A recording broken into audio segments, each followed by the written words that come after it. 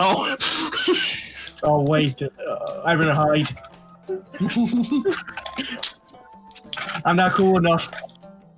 And you know, I would rein in my thirst more for their characters, but frankly, I believe that their thirst is roughly equal to mine, so Yeah. fuck it. Stoker apparently showed the sketches I did to them. Evil. Evil. Jonas, what makes you think I would do such a thing? You literally telling me as such? Please tell me we're live. Yes, we're live. Yes, we're Oh, good. live.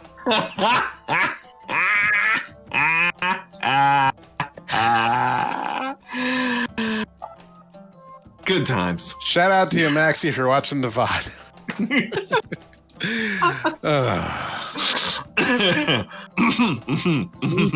Lead us. dignified, dignified. dignified. Identify that with response. Ouch, please. Okay, so the overlay is working. Yeah, I can see it. it looks great. Oh, sweet. Yeah, That's isn't that awesome? It is awesome. I I, Oh, let me see. I haven't seen the new overlay yet. Yeah. Oh, it looks so good. Right? I mean, I, I I reached out to Ashley, who does Honeycast, and I was like, "You've got these neat little things on your screen when you do your thing. You know, how do you how do you um do that?" And she pointed me to the link, and I was like, "Oh hell, Rook's got to see this." Um. So yeah, there you go. I see done. That's magnificent. Jonas, you're a magnificent bastard. I read Yeah. your book. You're ready. Hey, C nine. All right. So, Uh, it feels odd because uh, you can't actually change the size of anything except the text on this. Well, you could you could use transform to resize the uh, actual um like the, the source window. You know, you Yeah, can you can make I change the source window and it, everything stays the same size. It resizes itself because it's technically a uh, browser window capture. Right. oh my god, how did I just notice that the K in Knight has antlers? how did I just notice that? How did you just notice that? How did I just notice that?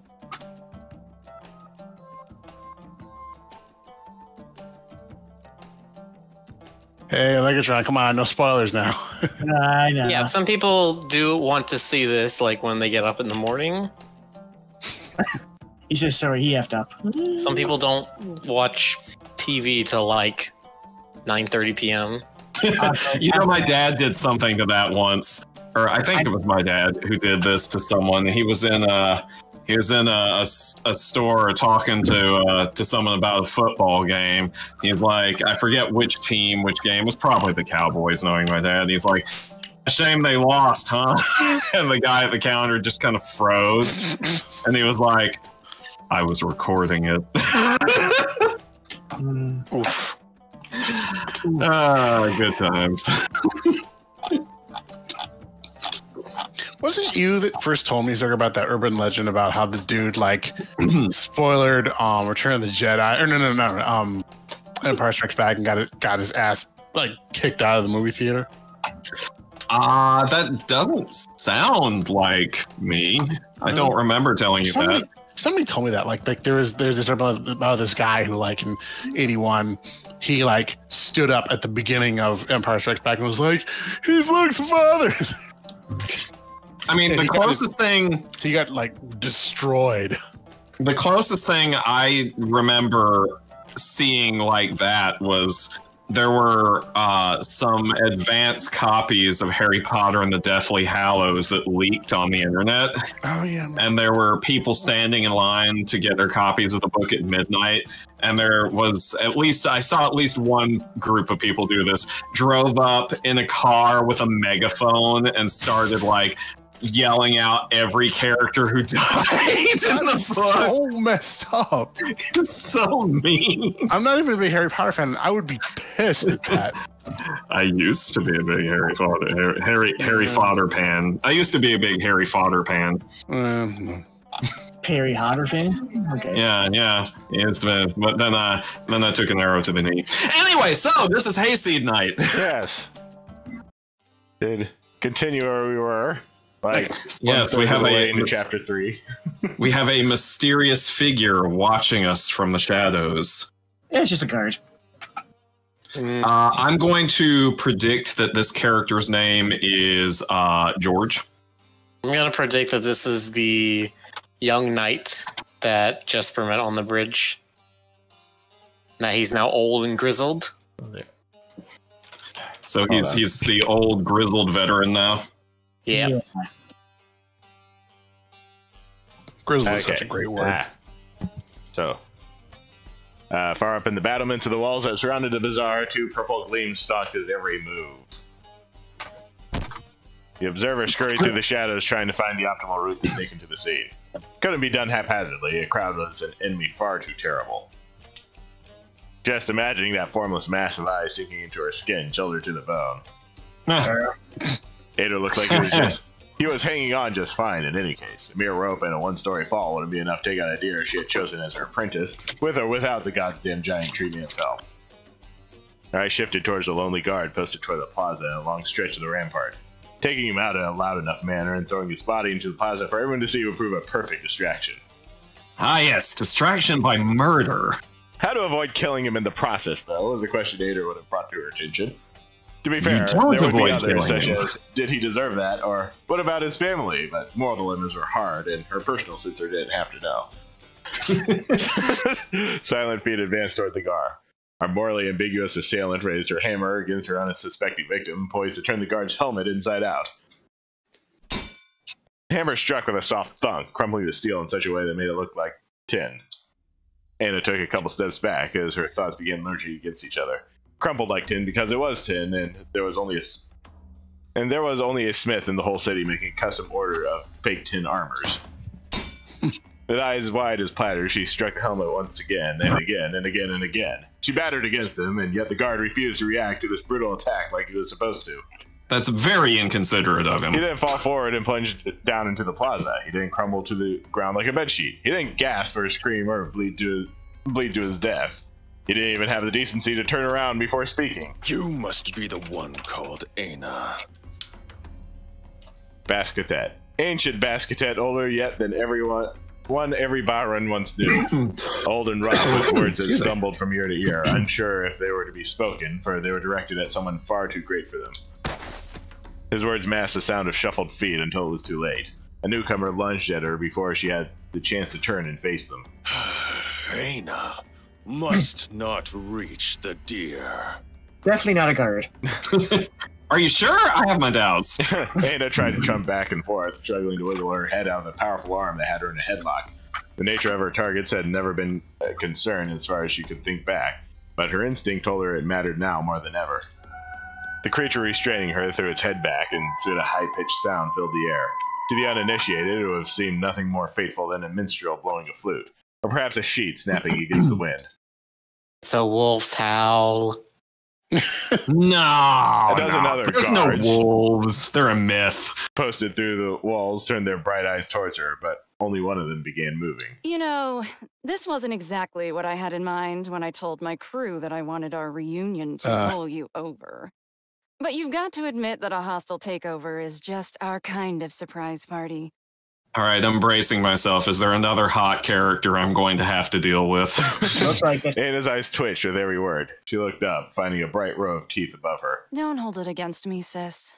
We're just following orders. Eka. Her voice sounds familiar too. We Yeah, well, that's all commence Eka. the trial of one Tranthurian refugee, Adderset, son of Gerfan, sailing from the now extinct ravine of Olitz. Before we start, I'd like to remind you all to mind the pitchforks, keep your fawns by your side at all times, and please refrain from throwing rocks. and for the love of God, put your cell phones on Elbar vibrate. Son of Thula, of making an attempt on the life of his liege, Lord Burbeth of Keep your Askadath, pants son on. of Thumar, with whom he shares a father, but not a Mother, half brother, son of a maid. They don't need to know our goddamn life story. Get to the point already. Ahem!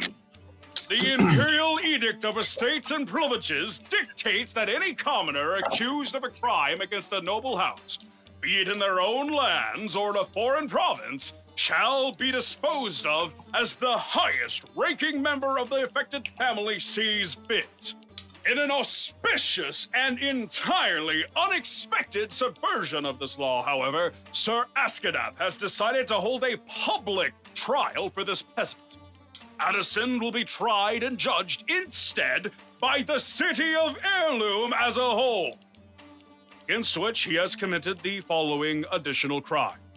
Unlicensed. Mendicancy, unlicensed smithery, unlicensed rivet pulling, street fighting, destruction of property, unlicensed reparation of said property, collaboration with a known Sevi, public drunkenness, and, And peeing jaywalking. on my leg that one time he was drunk.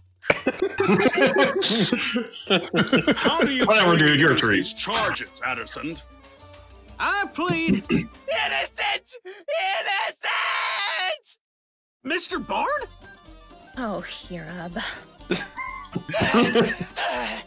Oh, good gods, guard my toes! I didn't think I'd make it on time!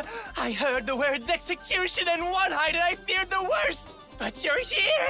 You're fine! As fine as only you can be!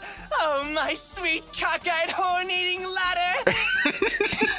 Don't Wow. you Wow, dare I- me I like bet you- again, you dumbass! You I bet you say that to all the guys. one of these days. Bard, uh, uh, I I don't know what to say. Uh, look, I really appreciate the thought, but, uh, Yes, yes, you can apologize all you want later. We have more urgent matters to attend to now. Like your sudden bout of frontal nudity. Where did your stupid cape go? One night in jail and you're coming back with tattoos? Haven't I taught you anything at all? Yeah, you that Vandal. scraggly singing poodoo capering around with a hat stuck to his magnificent horns, Eograph? Oh, oh, I Oh. see. I see. I've learned something about you, Elbar. No princess for you. I'm not surprised, but I'm not surprised either. His, his relationship with Seth seemed a little perfunctory. So, yeah, just a tad. Illigrab contemplated his feet wistfully, combing the ground in search of the right words to define 30 years of history buried beneath the pavement. Guff kind, keenly skipped this preamble. I am no poodoo, my lord. I'm just short, which is sadder. My name is Gyoff, son of Egai. Yes, that Egai. And I am Addison's Oh, yeah, herald, manager, landlord, and lawyer. Kindly ignore anything this lumbering psychopath may say about me, Sir Askadath. Not content with having my father killed unjustly and destroying my life, this backstabber seeketh to get rid of my best friend as well. I'm only letting you stay with Adder if you promise to keep personal grudges and slandering comments to yourself, Yoff. That goes for you too, Sir, Sir Askadath. Illigrab wiggled his mustache nervously as he turned his face away. Perfect chance to strike. Guff didn't waste any time doing vocal warm-ups. He jumped straight into the scene, dragging Adder's oblong head under his armpit like a solid piece of evidence. So what has this hapless backwater haven of peace done to deserve a sentence as ostentatious as attempted magnicide? Was the sight of his hunched neck and his deformed hands such offense on Sir Askadop's eyes that he longed for a quick death? Adder punched Sir Askadath's brother, Lord Burbeth of Askadath, in the face. I need a second to review the case with the defendant. You know, that is a good. Making you recalcitrant brute! I mean, you know, lawyers do generally try to find out what they're accused, uh, what their client is accused of first. I thought you were gonna sh- sh- rumble there again too. I like that. Nothing. I, I mean, I, I didn't do it just because I have felt like it. That nutcase was obsessed with Dana. He wanted to prove she was a golem or something, so he pulled out a knife and he pointed it at me, so I ran away. But then he began cutting in his robes, so He began cutting in his robe, so. So what? What? Aina is a golem, Adder! Nothing but a puppet made of metal and marble. She moves with magic. She could have eaten that knife if she wanted. she could eat knives for breakfast every day if she wanted, and I'd still stand up for her anyway, because she's the best boss in the world and nothing else matters here. Shh. I go to bed thinking that you've finally gotten over your Ah, there's another good word. only to find that you've lost your mind overnight. I know what that one You means. can fool I do yourself, too. but not me. Yes, Adam. I also do. We were just afraid of I letting a- him I show you what her insides look like. I'm gonna show you what your insides look like if you don't shut your yapper this instant, Gyoff. you dare threaten me? me? The deer that took pity on you and fed you and found you a job when you didn't even have a corner to crawl into and die? The deer that loves you like only your mother could? You turn on me over a stupid piece of. Are you done over there? Oh, I'm done with this golem humper, all right? All right, then let us proceed with the testimony of the first eyewitness. Soonerall of the Lucky Bastard, if you please. The old woman coyly walked toward the center of the growing circle of attendees. She nodded respectfully towards Illigrab, then made a small curtsy with her apron. Oh, three. I saw it, sir. I did see it with my own eyes. I watched that blonde hornless fawn nearly get his snot punched off his face by Adder here, no less. Just when you think you've seen everything in this city. Could you describe your relationship with the defendant, miss? Oh, it's nothing like that, sir. Adder's just a client. One of my favorites, too. So poor and yet so honest for lying as much as he does. Nothing like that little fiend Gyoff. yes, Adder is such a good boy that not one day had I seen him mad. Not one. Till last night, that is. Goes to show you never know with his ilk. Some screw must have come loose in that thick skull of his. I'm telling you, sir. It's all that butting heads business they do. Ha! Ah. Ha! Did you hear that, peasants? This stag is clearly out of his wits. He's a danger to us all. Elbar, wait until your turn to throw baseless accusations. Soonerall, try to recall, please. Did Ada really explode all of a sudden? Or was there something else affecting his reaction? Well, I didn't want to assume it would be something bad, but they did babble a little before that. Lots of fancy words thrown around. Scared the clients away from my tavern faster than Gyoff's music could. Uh, but I can't really help you there. It all flew right over my head. I couldn't get half of what he was saying either, but that don't matter here, man. Tell him what happened then. And tell him how he digging and drew a sword at me. Oh, there you go, making up tall tales again. That was no sword, 'twas just a knife. If only that stupid, stubborn Stumpy Horns hadn't. Miss Barkeep's mouth opened and closed slowly as the words failed to take form in her mind. Resume your testimony at once, woman. It happened last night, not last week. Sir, I can't believe I'm saying this, but I forgot what the blonde boy did after that. Miss Barkeep's voice became nothing but a whisper as she finished testifying. A senile bartender and a ravenous street shrub gone mad? This trial couldn't get any more pointless if it tried. Are you all convinced now? Am I allowed to put an end to this torment? Elbar, that's not how trials. Actually, never mind. Soonerall was the only eyewitness, Burbeth is still knocked out, and Aina is thankfully. Aina! The beast! That's it! That's what tried to hurt the beast! I told him not to! He should have listened to me! They'll come for us, you'll see! The beast will come! Isifik, save us from them! Wow. I knew she was crazy to hire me, but this is a whole new level of insane. Ah, yeah, master of the lean in. She seemed fine a moment ago. You dastard! Have you paid this hag to speak in your defense? You call this a defense? She got far too many cobwebs in the attic if she really thinks boss is anything but a dyed dough. Y'all gonna get your eyes checked, darn it. Who in the name of the Hatsa is this boss of yours now? Oh, here we go. Oh, the beast! Soonerall, please! Come back to your senses! Beasts are nothing but old wives' tales in this day and age. There's no such thing as. And cue. Have you seen that beast of mine? Illigrab's I sigh could have been something. heard from a league away, deeper and louder than the gasps and screams shared by the mob around them. He gently pushed the barkeep aside after wordlessly reassuring her that everything would be okay. Well, look what beat has decided to snake its brains out of its hole. You all know him, dear jury. The last merchant of Basaxarat. Just the calcified Barhan skeleton we needed in this freak show. I gotta uh, pause for just a second to say Hold you call him out, or I'll stitch it shut for you, y'all.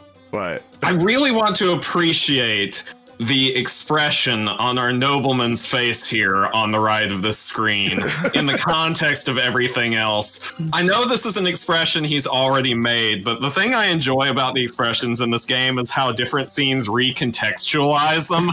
this is the face of a man who just regrets every decision that he has made today since waking up. because they have all led him to this moment. yes. Try You all are you not- want to scare me with scatological threats, Bertok.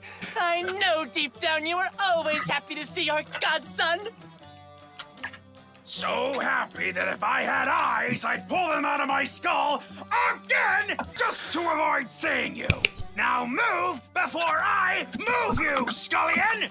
The sun would rise and fall twice before I was done insulting you, and that stuttering mumble crust you foisted on me. Can someone please tell me why, in the name of Baitatse and all the gods, both big and small, are we letting a witch walk in like this? This witch is the father of the absent eyewitness, Your Grace. So perhaps he can share a little insight on the whereabouts of the only creature in this kingdom that could have a shot at saving the defendant. Didn't you just hear me, you earless squeaker? That's what I'd like to know. I don't care what that little vandal does with her knights, but she didn't even bother coming home to light at the forge today. Say what? Ana wouldn't skip a day of work if her life depended on it. Something's gotta have happened to her. Calm down, you two. Look, Red, Ana and Adder went out for a drink last night at my expense. Your daughter had a bit of a wardrobe malfunction, so Adder was a gentleman and lent her his scarf. And then he decided to punch feudalism in the face while he was at it. Wherever she is, she's not here. So why don't you go and wait for her in the temple? Hmm? I'm sure she'll come back sooner or later, as usual. Not so fast, tumbleweed! I have some words for this daughter Solier first. How dare you take Ana to a watering hole without my permission? If anything's happened to her, I'm gonna kick you so hard you'll have to wear your balls as a bow tie! Well, the darn patron. You better hurry up, or I ain't gonna have no neck to time around.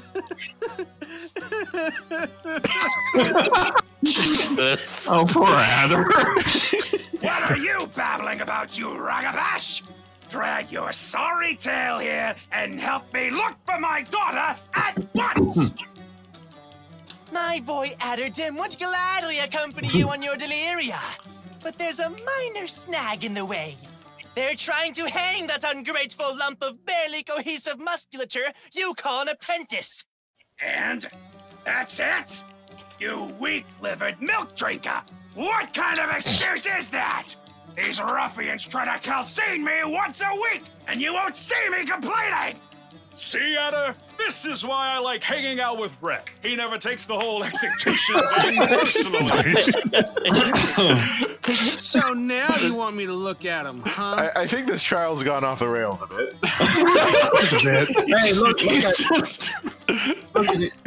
Look at Edward. You know, I knew this was going to be ridiculous, but I still somehow failed to predict exactly how ridiculous. this is what I get for trying to lighten up the mood.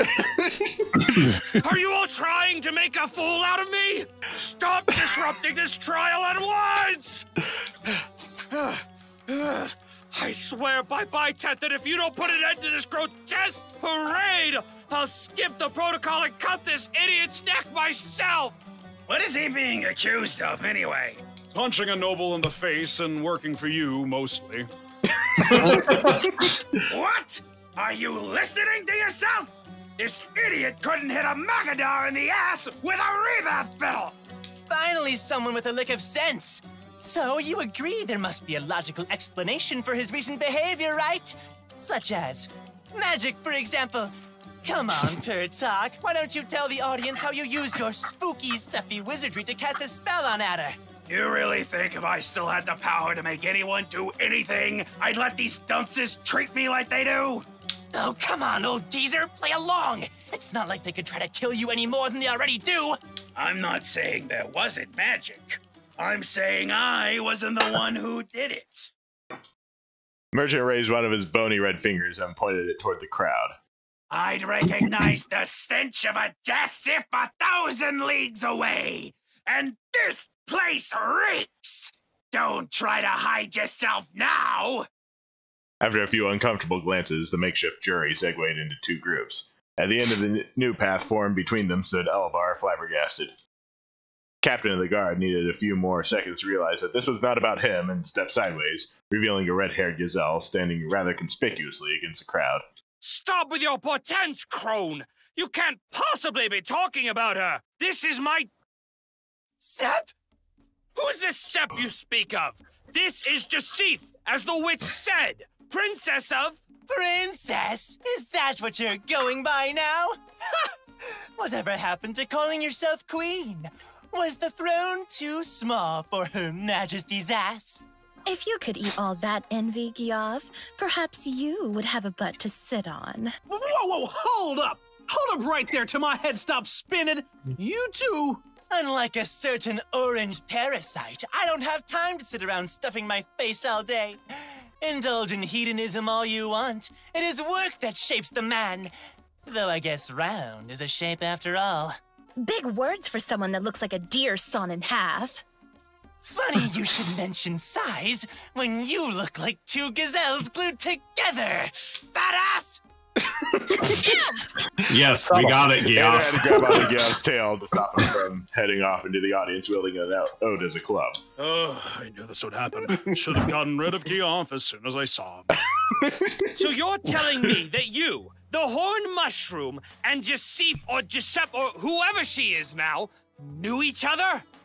I thought it had become obvious when he accused me of having his father executed and ruining his life. Though, honestly, I shouldn't say accused. I am guilty. Just try and hang me, why don't you? To think Geoff would go to such extents to fight for his father's name. That's on him, not you, you sappy pine. That boy ruined his life betting on all the wrong numbers. Don't feel bad, Illigrab. You hanged a murderer as far as anyone else is concerned. This is why I ran away from home, you bunch of traitors. The heavy words vanished one by one until only silence remained. I was supposed to obtain answers in this trial, damn it, not questions! Why are these people calling you Sap over and over? Are you truly Jasif or not? Of course I am. I was born a Jasif, and as Jasif I live. Though I was known as Omoseptut for a few years before I was free to take the name I deserved. These two are merely family friends bent on resisting inertia and clinging to the idea of the child I was. This changes nothing between us, Sir Askadath. My role remains the same. I am Jasif, brought from the brink of oblivion in the sands of Basaksarat to be raised in the desert rose, while I wait to build my kingdom anew. That's the Well, that story explains our mother used to everything. tell us anyway. Remember when Thar would call us over to have dinner with the whole family? Oh, those were the days. Enough! Is there anyone in this trial who hasn't seen you in diapers? Whoa, let's not bring that into this. This much just as confused as the rest of y'all here. Yeah, I'm sure this bed swerver's seen her with far less than that. Now, now, Red, let's not jump to conclusions. Adder is a proper southern deer and my best friend while at that. And the only girl he's ever dared fantasize with is that painted rock you call a daughter. I can vouch for the fact that he has never, ever in his life said anything about spending a night with a gazelle. Geoff pulled Adder down by the noose. And much less this one in particular. Right? Adder? Water runs deep, you little truant. Oh, come on, patron. Look at me. I, I mean, listen to yourself. Who'd ever want a deformed buck like this one here? Hands like a shovel, face like a shoe.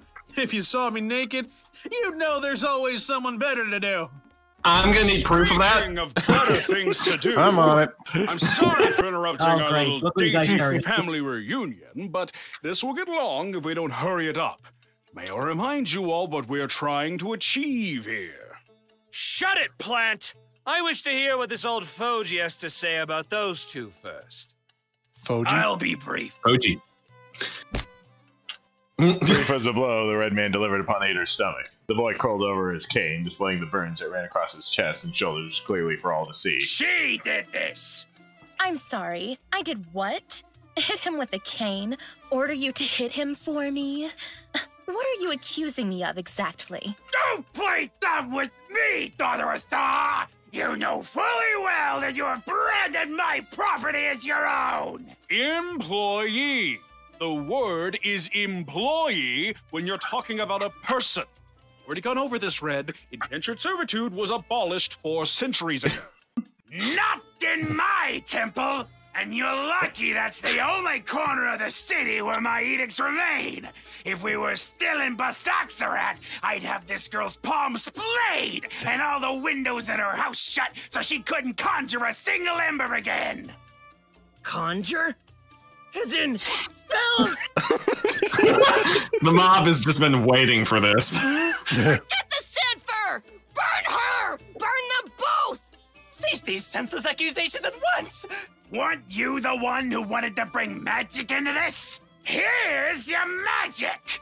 This shameless broad has been pawing at my daughter's apprentice for quite a few moons now. She could have been using him for anything she wanted. Red, I hope you realize you're making some very serious accusations. Lethally serious. Do you have any proof to accompany them? You have the word of a Sephi, and that was worth more than a thousand not back in the day. I'm afraid we don't have any foreign exchange consultants around, so I'll need to see some factual evidence. That much I can't do, old Fern. Be my eyes. What does the brand look like? The mob became a single whisper unit. Unity congregated around Elagrab. The tree man nodded and hummed every few seconds. After much Hmm. deliberation, the jury has decided that the brand seems to be, citing textually, a hen, either a young deer's, or a doe's, or a barhen's. You realize we can't condemn her with such a big error margin, correct? You're telling me this clumsy scamp didn't even bother making a proper pattern? You idiots! Do the sensible thing and put her hands on the marks! Adder and Sep exchanged a brief look. I'd sooner take a bath in the sewers than touch that flea bag.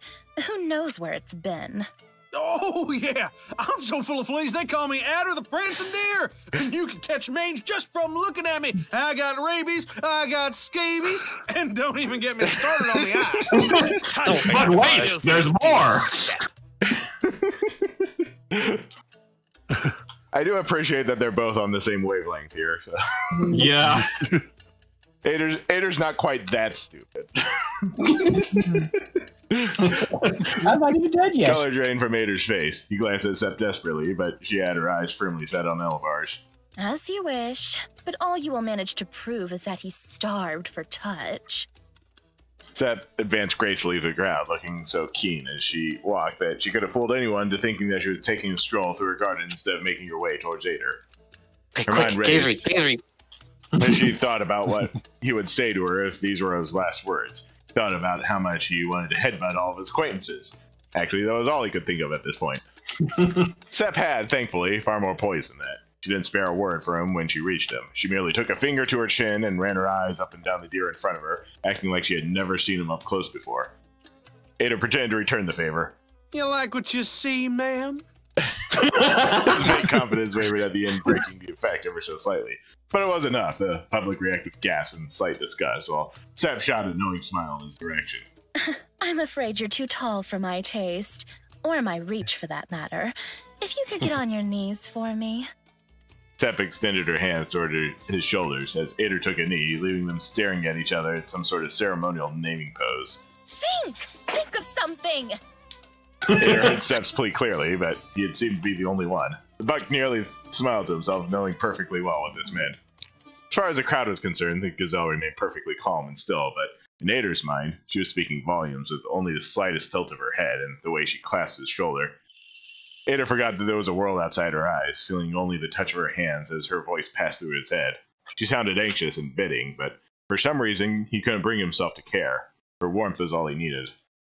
Booming, loud words began filling Adder's head, covering Sep's thoughts like a thick paste until it was impossible to hear her voice anymore. Adder tried to hold on to the whispers that remained, distraught, but it was for naught. He had to wake up and listen. Uh huh. What was that? Yeah, uh, asking him to think may not have been the best plan. Adder only realized that Sep had been pinching his shoulder over and over, trying to get him to snap out of it once Illigrap's doubtful face over. Once he saw Illigrap's doubtful face hovering above his. I said that her hands seem to match, though again, that's hardly conclusive. It would be wrong to assume this young woman dabbles in sorcery just because she's a gazelle. We can't forget, however, that a known Sephi is accusing her of magically influencing Adder in some way. And it would seem that the boy is a little too. uh, affected by her proximity to properly present his testimony. I told you he looked desperate. I will only ask this once, Umaseptut Jasif, daughter of Thar. What is your relationship with the accused? Well, okay, I'll tell you, but we may need to change this game's rating. You're asking me? No, Adder. All I'm asking you right now is to shut your snout and let the lady talk while you get your own ideas in order.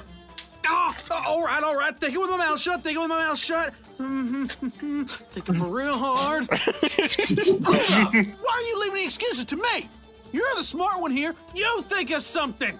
Haven't you been paying attention? I was practically raised by these idiots. They'll know I'm lying. You want to tell them the truth then?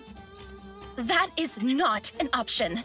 Miss Jasif, if you please. Then don't lie. Just, just make the truth prettier than it should be. That's what I do every time. And how am I supposed to do that when I don't even know what the truth is? This ain't no philosophical question. Just, just tell me what are we supposed to be? Nothing. That's a lie. Give me a truth, but better. Well, uh, we are. Uh, oh, what are we? What are we? Uh, what are we? What are we? What, are we? What are we? What are we? So, what are we? I'm a gazelle. You claim to be a deer, but honestly, I'm not all that convinced you aren't actually the personification of a tuber. No, no, I mean, what are we? As in, what's going on here? You know, you and me, and me and you, you know? Ed began making gestures that would have looked far more ridiculous than I've seen with normal hands, never mind his. You're asking if I would be mad if you were to see someone else. You're trying your darnest to avoid the question. Excuse me. I didn't realize this was an interrogation. No, Adder. I don't care what you do with your free time, as long as you come over when I want you to. Will that be all? Mm. Nah, I ain't buying that. Come on. You're really trying to tell me that you wouldn't get jealous if I walked up to a doe and hugged her and kissed her and asked her to marry me? Not even a little bit? No. And to be honest, the possibility hadn't even crossed my mind. right, right. Harsh. Of course. Uh, I mean, I, I get it. Yeah. You, you ain't got to worry, because I'm the toothpick to your seven course meal. Is that some sort of attempt at an analogy? I thought you were into analogy. that is an analogy. Come on. oh no, man! I'd never try that again without your permission. Why does this game keep making the same jokes I make right after I make them? I'm just saying. I'm like a used tooth here for you and no one else, because I'll gross everyone else out. Oh, I see. Emotional chantage. Is that what this is about? What an unbecoming habit for a stag as handsome as yourself. The nerve you have, trying to hear me say how amusing and kind you are, not to mention brave and resilient. That's certainly not how I'd expect my favorite to behave.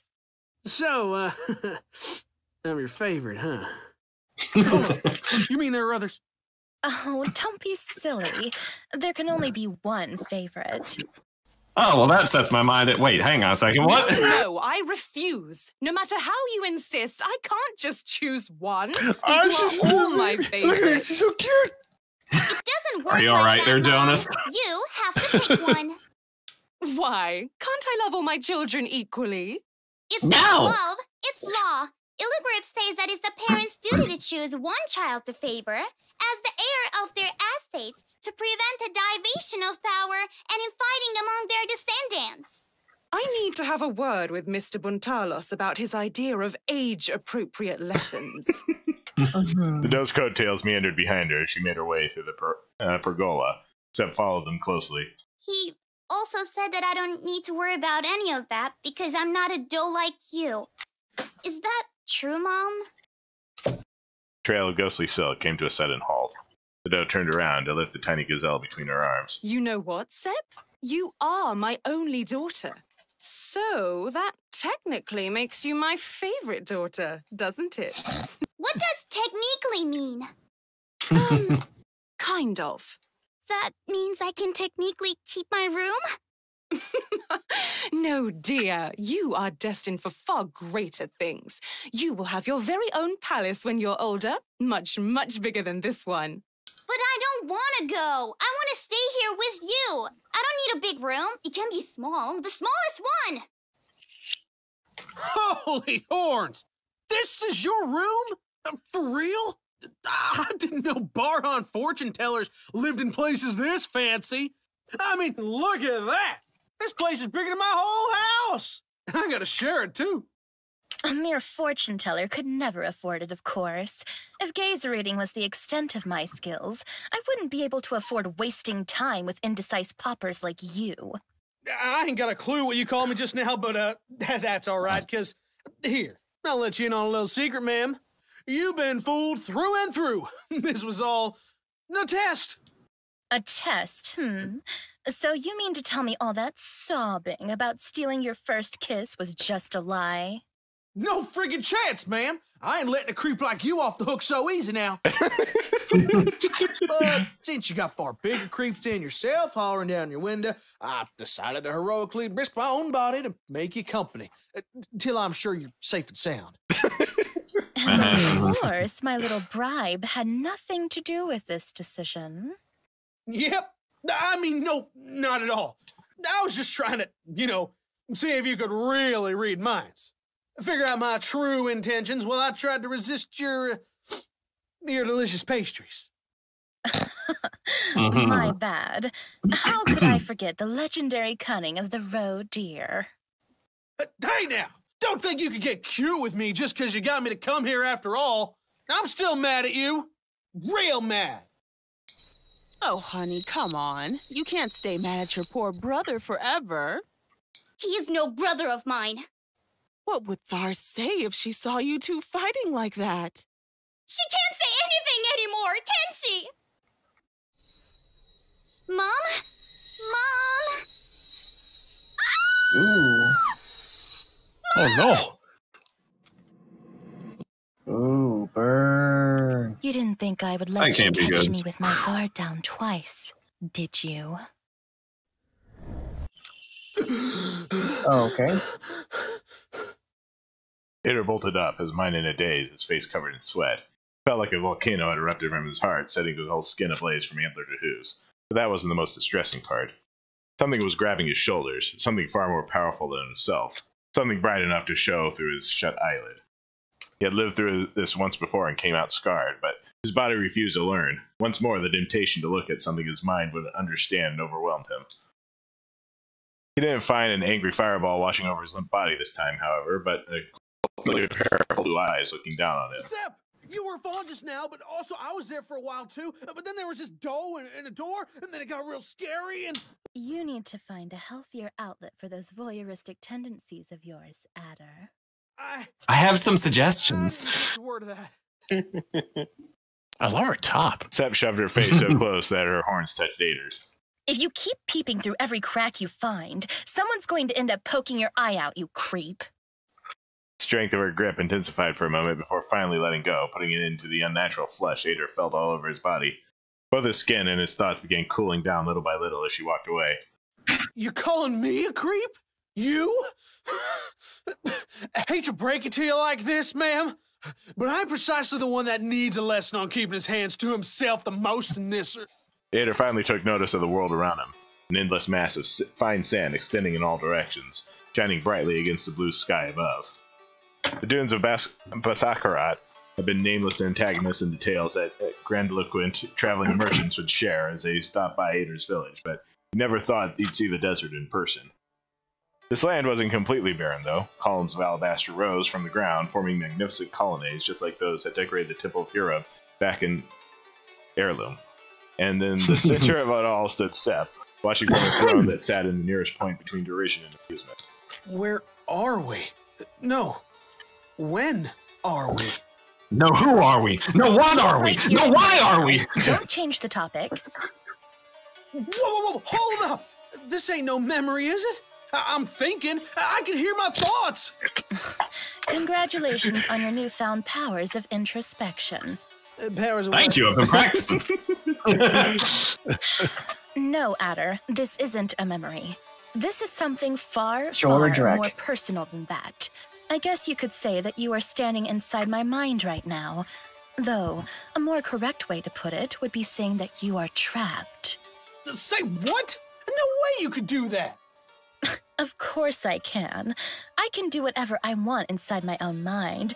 And as the ancient Bazakted adage prays, an open door is not an invitation. You showed up uninvited, and so I have decided to lock you up like the burglar of secrets you are. nice try, but I got enough of these inspection powers to tell you're trying to use my tricks on me. I ain't so scared of you. I'm just gonna eat any half-baked magicy radish stew you cook up, ma'am. See, your advice is useless if I don't know the whole truth first. You don't know what happened either? I can only speculate as I try to piece together an explanation. My best guess so far is that our little bonding experiment worked much, much better than I anticipated it would. Adder clutched burns. Bonding sure is a fancy way to call what you did to me. The fact that you remember enough to be bitter proves that I did indeed manage to find a relatively harmless way to circumvent the curse. I've made a historical breakthrough, and you should be thanking me for my efforts. Oh, yeah, thanks for the tattoos and all the nights I spent hollering down your window without an answer. What did you fix my mind for if you were just planning to act like you didn't know me? You like seeing me hurt like that? Mm-hmm. Yes, it's kind of a turn on, honestly. Definitely always a Deceptive. plus. And I'll But maybe I'm not so cruel as to plan something like that in advance. It was more of a spontaneous decision, a change of heart, if you will. I realized that I quite enjoy tormenting cowards. I ain't no coward. I was just scared. You, you can't blame me for running away. You set me on fire. Did you Well, spend a whole yellow. blaze? Adder looked up at the gazelle looming over him. He realized that he was trying to win conversation on a topic he didn't even want to recall. The weight of his anger turned to hurt under the pressure of her stare. Where I are mean- you going? You can't just get mad and ditch every girl who tries to set you on fire. You'll be single forever. I'm gonna go find the exit and get you. You don't gotta see my ugly mug ever again. You do realize that the part about being locked up wasn't a lie, correct? this is my core, my retreat, the place where I go when it looks like the sky is about to fall on me. No one should be able to reach this deep within someone else's mind, and especially not you. yeah, well, I saw Inception about 167 times, so. I found my way out of deeper Are you pits. starting no to talk to Only thing I care about is getting out of here before it's too late. Late? Really? You think you're going to be late inside a thought? Oh, that's precious. Please explain to me how someone as clumsy as you managed to slip past my defenses because I seriously can't understand it. All I'm hearing is blah blah blah. Adder's dumb, and I already knew that. Time is not an objective reality in the same way a rock or your ignorance would be. An hour can go by in a moment when you're having fun, but that same hour can be a torturous eternity for someone in pain. Time lives inside your mind. A good gaze reader knows how to look inwards as much as outwards and use time in their favor. As long as I can keep my thoughts focused enough, time will remain effectively stopped for me and for you, little stowaway. We could potentially have a whole eternity to spend together. Wait. Provided I don't die of ennui first. Then again, I'm sure you'll figure out a way to keep me entertained. We have a lot to catch up on.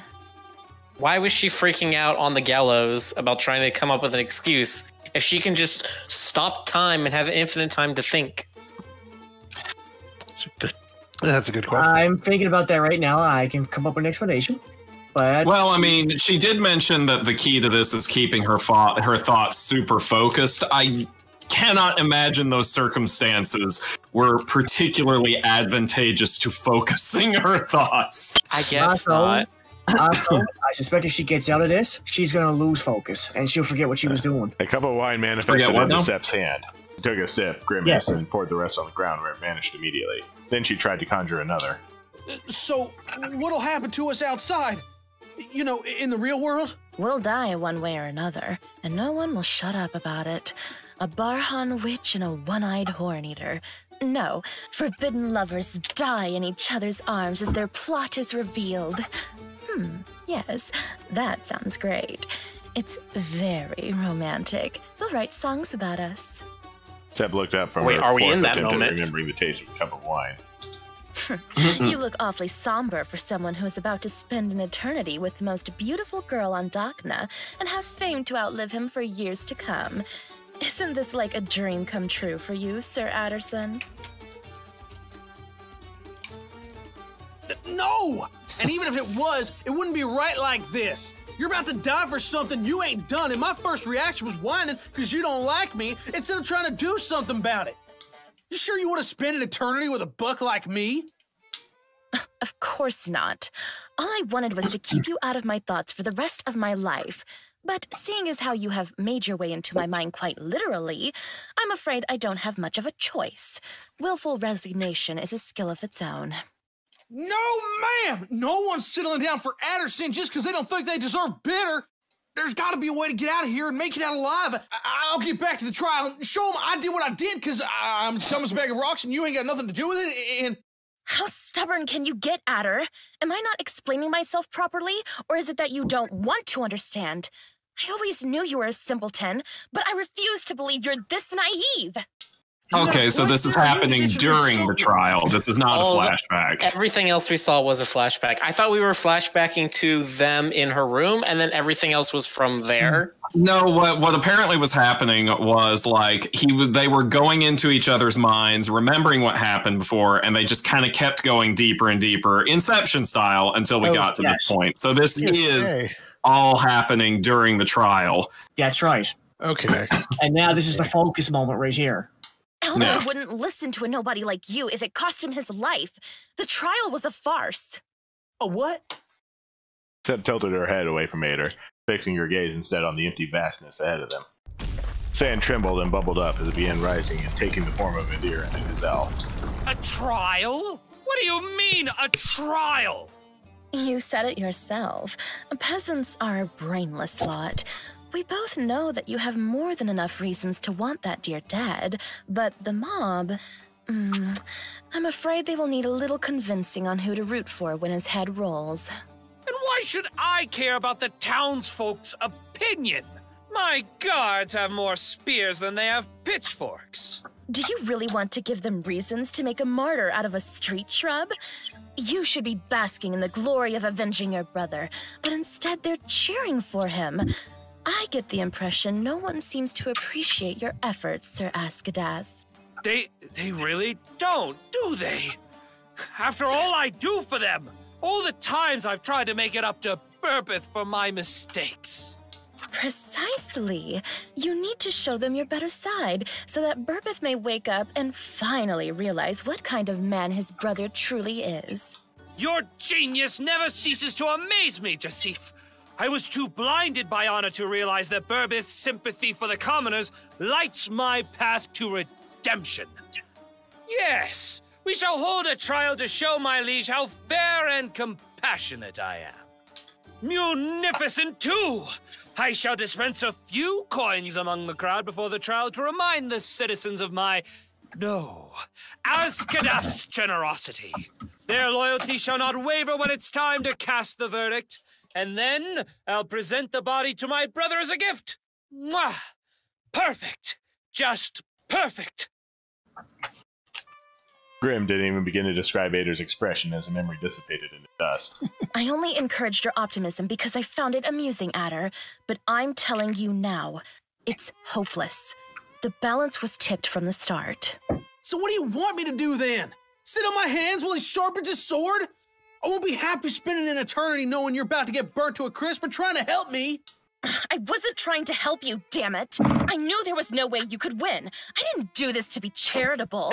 I just wanted to make sure that I could see you face to face one last time and know you mean nothing to me.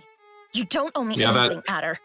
That sounds exactly like the like the actions of someone that someone would perform towards someone who means nothing to them. Yeah, yes, know. Yeah. that is extremely convincing.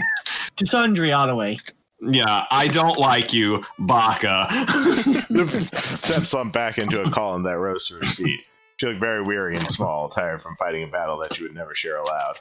If you don't want me to stand up for you, then at least I'll stand up for myself just this once. This could be the last chance I get to prove I got a head over my shoulders, Sip. Do you now?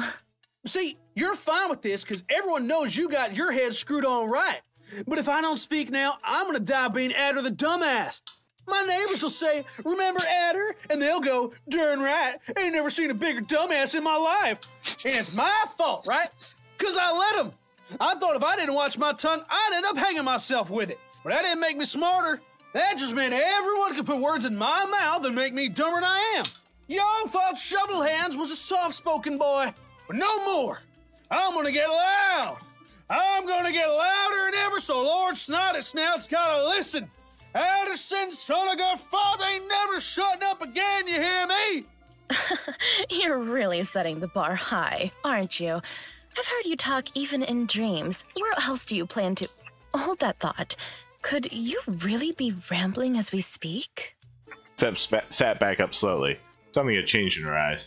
Ooh, I know that face. You got a plan, don't you? That's the sip I know, smart as a whip and only half as mean. what do you need? Just say the word and I'll get right to it, my queen. That's a great start. But you are going to need more than mere compliments if you want to convince Elbar that you deserve a second chance. Uh, I'm getting mixed messages here, ma'am. You think I got a chance or not? D- didn't you just say he wasn't going to listen to a word I said? And he won't. You could warn him that his head were on fire, and he would refuse to listen to you on the basis of not liking the way you speak. He's more concerned with the envelope than the letter. If you manage to get past Elbar's brashness and appeal to his sensibilities, you'll find that he's hiding a heart under his delicate ego. The magnitude of his emotions is his biggest weakness. And I, of course, happen to know how to stir them better than anyone else. Whoa there! Don't go getting ahead of yourself now. I don't want you magicking up nobody else's memory again. As if I had to. There's nothing Albar loves more in the world than a good tragedy, and you are nothing short of miserable. I'm sure that if you could stroke his ego a little and spin some sad tale, he would call off the trial and pardon you immediately. Sob story's all you need? Call me Weeper Whaler Adder then. I've done far worse than cry a little, save my butt. I ain't even gonna break a sweat. but that still begs the question, ma'am. Where'd that leave you if it works?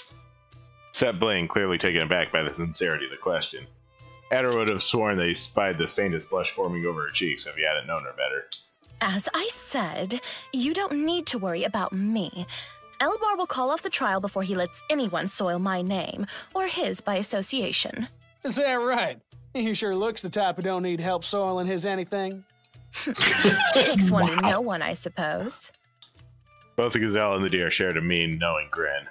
what do you say we call this even for now? Truce? Truce. Only until I can get you out of my mind, of course. Would you kindly show me the way out then? Hmm, could I even? I have an idea of how to get you out of here, but it's kind of a drag, and it's going to take us both quite a lot of mental preparation. Mhm. I'm getting exhausted just from thinking about it. Sep crossed her legs in a very calculated fashion. Adder couldn't do maths, however. What are you willing to do in exchange for my help? oh, darn it. You got me right where you want it, don't you? I've been playing hard to get, but I'm afraid a buck can only fight back for so long. Oh, what the hey? Come on up, you goof off. I'll carry you there. Sep headed off in a seemingly random direction, not bothering to look at him twice. Hey, Sep, I- I'm not that dumb. I was just messing with you. We can still. S- Sep, wait up! Don't give me the cold shoulder now! I've missed you too! Sep! I love the plan to get you out of here involves I know, a right? an abstract petition. I need you to follow the trail left by a particularly disruptive feeling, one that has been keeping me up every night since you ran away. Once again, we may have to change the rating on this game. Adder almost opened his mouth to intervene with his version of the story, but he managed to remind himself that he wasn't standing on solid enough grounds to argue. At first, I thought it was fear. I was afraid that you would summon the guards and tell everyone what happened. I was convinced that my time had come, and I prepared myself to embrace death. But days passed, and no one came knocking on my door. You really thought I was planning to tell on you like that? I was. I, I, I am scared as all get out. A prairie buck could deal with this gal being a mind reading horn hottie, not a gosh darn friggin' fireball. But that don't mean you stop being you. I'll never let nothing happen to you. So I saw, now and then. And once my fear vanished, I decided to stop worrying about you and return to normality. I managed somehow. Everything was going better than ever for me, and yet the restlessness just kept growing. Ever since that night, I keep recalling parts of my life that I thought long forgotten. I can't take a single step without second guessing myself. I fear I'm turning soft, weak. Ugh, I don't know. After what felt like hours walking, their journey came to an apparent end. Pristine marble wall blocked any further advance, stood tall and proud, looking far more impregnable and solid from afar than any wall Adder had seen in the real world. It seemed endless and eternal. Is he gonna have to punch the wall down to Upon get out? He's gonna have to punch the wall down to get out. Upon closer examination, however, the glamour built from lies and self-importance He's not gonna disappeared. This imposing defense was actually full of breaches and crumbling apart. I lack the words to describe the change you've stirred within me, Adder, but that hardly matters anymore. All I know is that you have managed to slip past my defenses, and that means it's only a matter of time until someone does it on purpose. I need you to take advantage of my vulnerabilities to find the way back out, and then lead me to it so I can close it. No one shall get so close to my heart again. Let me get this straight. The only way out of your mind's making you a worse person, somehow? I suppose that is one way to put it, yes. Good people don't exactly thrive in the upper crust. That's why I'm closer than ever to power. And you, uh, well, the news suits you just fine. I don't know, Your Majesty. I I get the feeling you're being just the usual amount of ugly to this buck. You sure anything's changed at all? Don't mistake cooperation for forgiveness, Adder. You deserve my help, not my kindness. I am still terribly mad at you.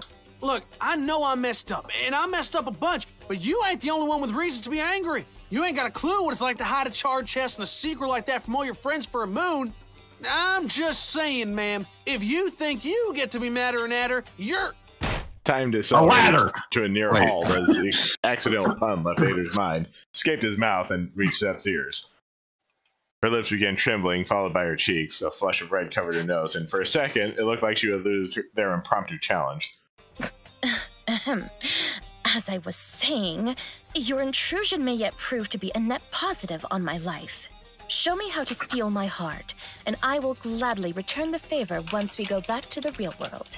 But why would you go and leave something so important in these shovel hands? You sure you want me seeing all those memories? I, I mean, you know yourself really well, right? Can't you just go in there and use them inspection powers to point me to the exit? Introspection, Adder. And no, self deception is much stronger than self help. I'm self aware enough to know that any attempt at self analysis would only leave me crawling back into a cycle of self loathing and make me lose control of both this place and myself. You forgot any self in there? Except Claire made it quite obvious that this is not the time for quips. I can I surmise was going to make a joke about her being and point you in a selfish, but direction once you know what you're looking mean for. Adder. selfish? That's the extent of what I can do without the guidance of another gaze reader, and you're the closest I've seen to one in a decade. Besides, I firmly believe that in the time we've spent together, you have grown to understand me better than anyone else. Not that there was much in the way of competition to begin with. Adder was, despite all evidence pointing to the contrary, a rather simple boy with simple tastes and simple goals.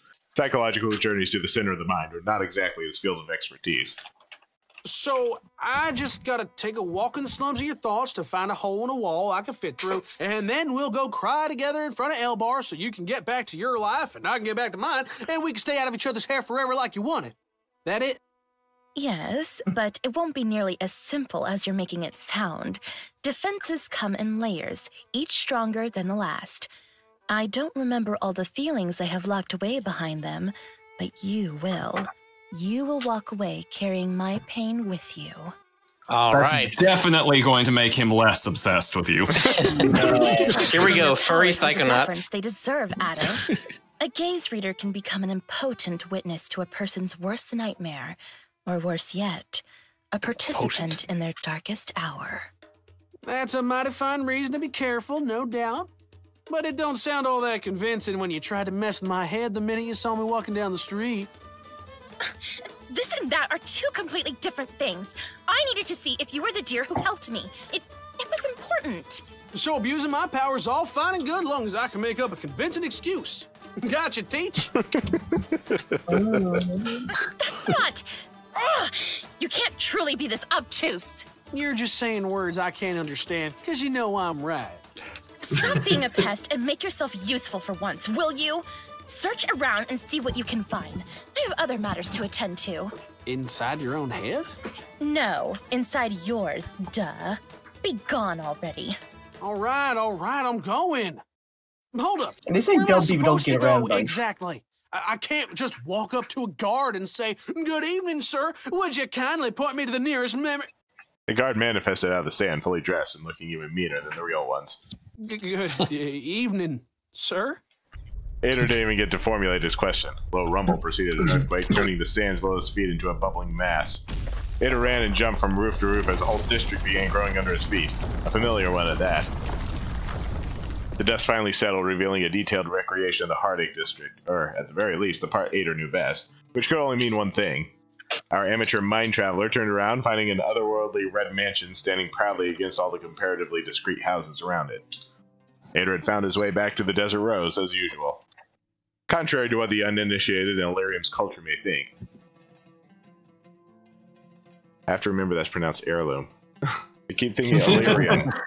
Heirloom's culture may think the Desert Rose was most certainly not a house of ill repute. Quite the opposite. It was a jewel of the crown of Heartache District, maybe of the whole city. One would never be ashamed of being caught stepping in, for that would mean that they had the kind of resources to behold the multifarious dances, magic displays, and general extravagance as their, u- their usual patrons partook in. That sounds like my kind of place. Fewer yet would even dream of carrying enough coin in their pockets to afford a sojourn in this multifaceted cultural center. Needless to say, Mhm. it was not the kind of place someone like Adder would ever be allowed to frequent. And by frequent, I mean look at it from any distance shorter than 60 steps. He wasn't even allowed to breathe in its proximities lest he contaminate its air of nobility.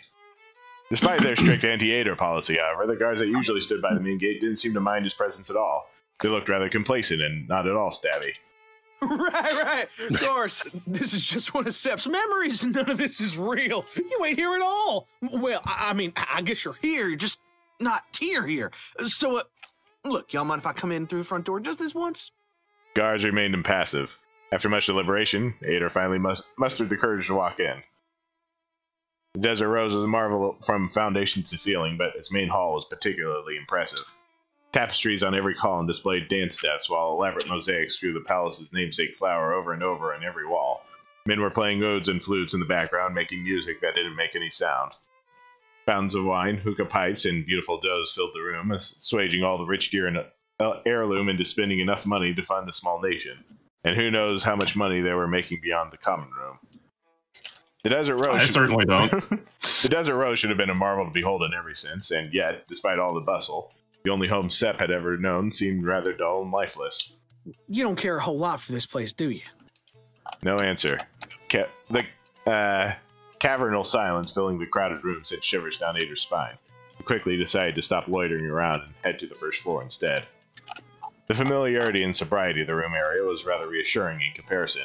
It would have been positively awful to snoop around in such a place, so Adder carefully counted room after room until he was sure he found his destination.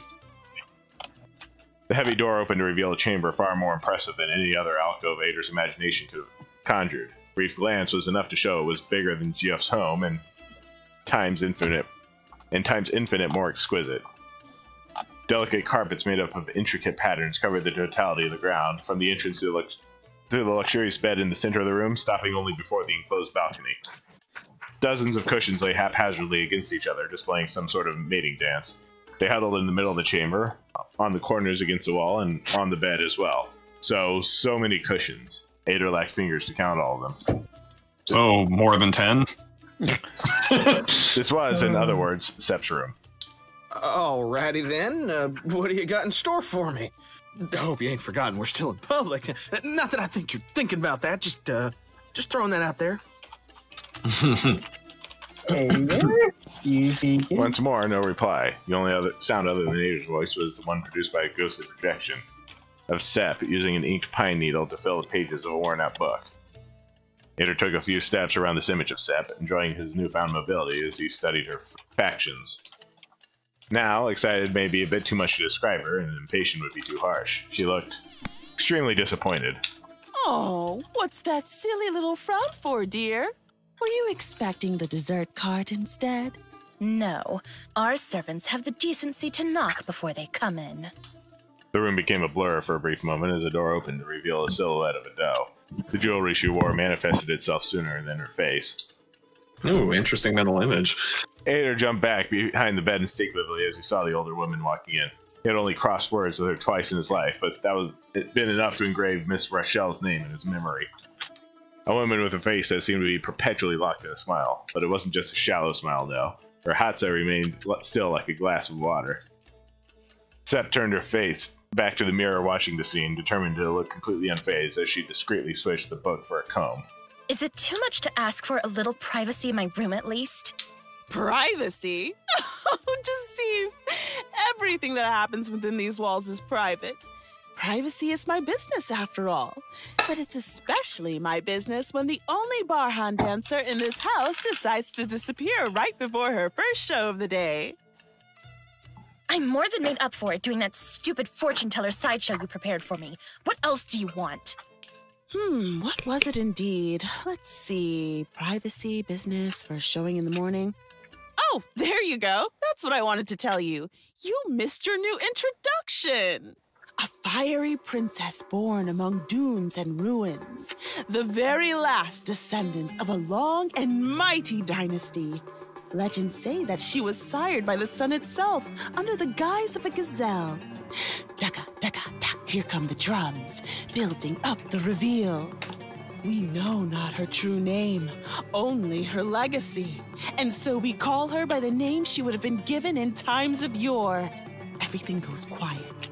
You step into the flames, and I shout, Jasif, Princess of Fire and Sand! Woo! Ovation! Everybody loves you. No. Oh no. You didn't just say princess. I did just say princess. Oh no. What? How? No. I can't be a. Uh, princess? Really? Why don't you go ahead and tell them to call me Sep while you're at it? Dear, I would never. I know how important your stage name is to you, and you know I adore your taste. Jasif is such a great little nickname. So mysterious and exotic and profitable. Powerful. Too much, perhaps. I'm afraid the title of queen sounded a bit too inaccessible. Men don't like having their power contested, dear. It's bad for business. Well, some men do. I was gonna say, like, Ah, yes. The ever thriving business of horn eating. Well, someone's feeling sarcastic tonight. Are you really sure you're not expecting anyone else, dear? You radiate an aura of longing and solitude, and. That wench told you, didn't she? I was going to say that you keep your eyes on the window like a grieving widow, but I appreciate your theory too. Care to elaborate on which wench should tell me what? Why? What would keep me from lying to you if I did? You should go and ask that herd of snitches instead. Someone's bound to tell on me. Oh, I would, believe me. But your sisters are all very busy at the moment.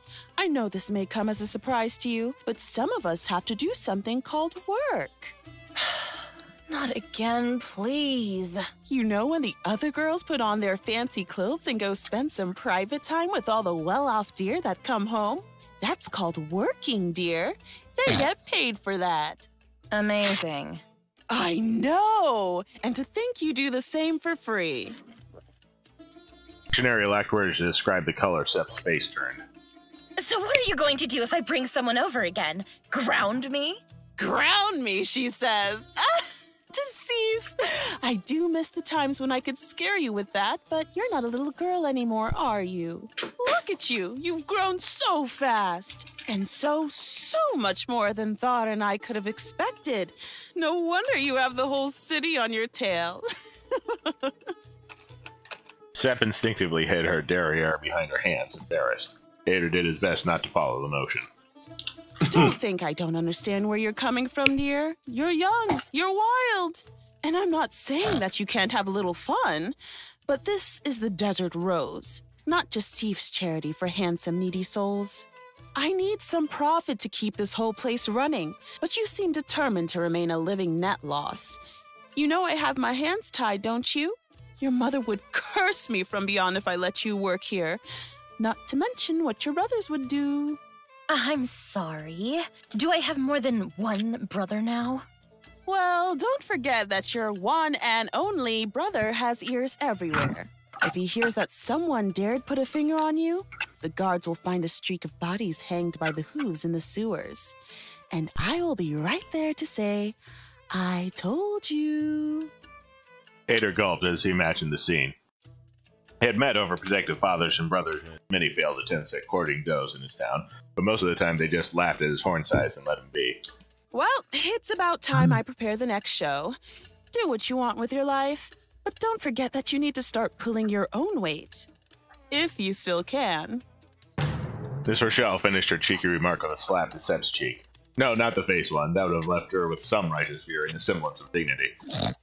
The door closed behind Miss Rochelle, but her presence remained long after she left. How long exactly was the amount of time it took Sep to stick her tongue out at the door? Yeah, that'll show her. Sep picked up her book once more as she made her way to the bed, unknowingly accompanied by Adder's restless thoughts. Good thing you're late. Adder started, thinking she was talking directly to him again. The initial scare passed once he realized it had been nothing but a stray thought, so he decided to investigate the source of her woes. A deep dark hue covered what little sky could be seen beyond the lattice covering the balcony. It was only getting more and more intense as the lamp tinder snuffed out the ferals one by one. Oh, I get it. So this is what you wanted to show me, huh? Oh, Sep, I never would have taken you for the sign type. Adder took a seat by her side, watching her reaction change eagerly as a pebble flew right into the window. Now, distraught may be too much to describe her, and apprehensive would be too harsh. She was just being silly.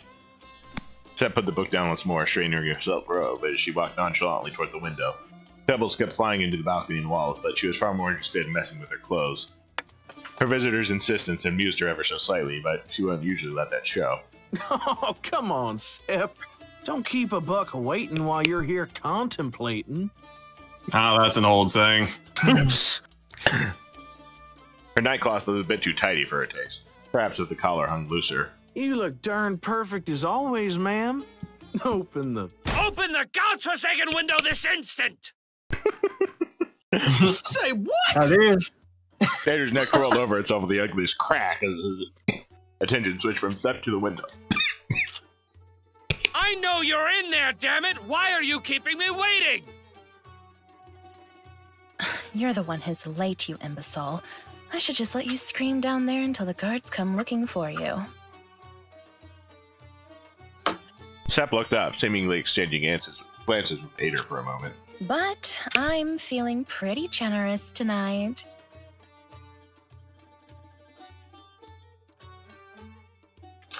Sep unlocked the window with a knowing smile and the confidence of a dancer that had played their song successfully a thousand times.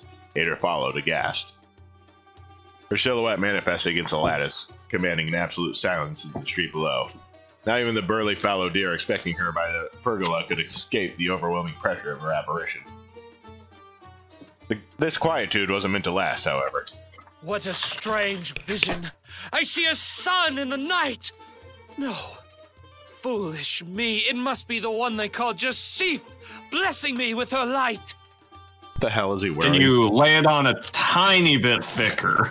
Just a little bit. I think you're being too subtle. Hmm. Yeah. Sep barely managed to keep herself from smirking at the sight of the ridiculous mask sitting atop of her nightly visitor's enormous snout. In his mind, this was surely the first time this conversation had taken place, but Sep had memorized all the steps at this point. Jed rehearsed her show, sold the tickets, and won the crowd a dozen times over. I am the one they call Jasif indeed. And you? What words should I use for a masked madman screaming in the middle of the night? Madman will suffice, for I have indeed lost my wits and my mind. I saw you dancing among flames today, and with every move I felt a forbidden passion setting my heart ablaze. I fear your lovely image has seared into my eyes for all eternity. You know, ever since it was pointed out in the announce previous myself as your most fervent servant and admirer. My sword shall greet the throat of any man that attempts to claim your affections for himself. Princess I was like, hush, Stoker. I got a sword. in the previous stream, ever since it was pointed out that he and that uh, that that servant, that guard of his from earlier, had a Zapp and Kif dynamic going on, I keep thinking, what if? What if this guy had been voiced by Billy West doing a Zapp Brannigan voice? what would that have been like? I have therefore come to announce myself as your fervent, most fervent servant and admirer, Kif. Anyway, um, go on. More champagne. Elvar's new fit of courtly poetry became a distant echo as Sep took both hands to her face. I'm going to choke that woman in her sleep. Thought disappeared as soon as it arrived, unheard by anyone except Adder, who mentally patted Sep's shoulder. So may I have a lock of red hair to remember our affair. You can have my whole tail if it'll make you shut up. Sep's words slipped from her mouth before she could catch them. The world froze for a moment as her suitor stood agape. With a single misstep, she found herself nearly falling to the ground and alone in uncharted territory. Music went on, even though she had lost her tempo. But, but, babe, I wrote this myself. I even had one of my guards follow you to find out which balcony led to your room. Also, my words could reach you. I wanted to pay you a nightly visit. Isn't that romantic? Dozens of disembodied paragraphs scuttled through Adder's skull and stopped as Sep mentally went, went over all the nightly romance books in her library in a panic, desperately hoping to find the right cue to jump back and do their little dance. Ha! You dare speak of romance after exposing your intention to trespass? Sneaking under my window only to make your way into my bed is awfully inapt of one that claims to serve me. You may as well just be a common thief. But how can I be a thief when you have stolen my heart? Do not doubt Wow, my word, actually words, said I am no lowly horn eater. My desires are lacking in lust. It is love I have come to give you. Is that Yeah, so? because you're busy lusting over the bard's Leave antlers. at and do not come back until you bring proof that you do not wish to steal my affection.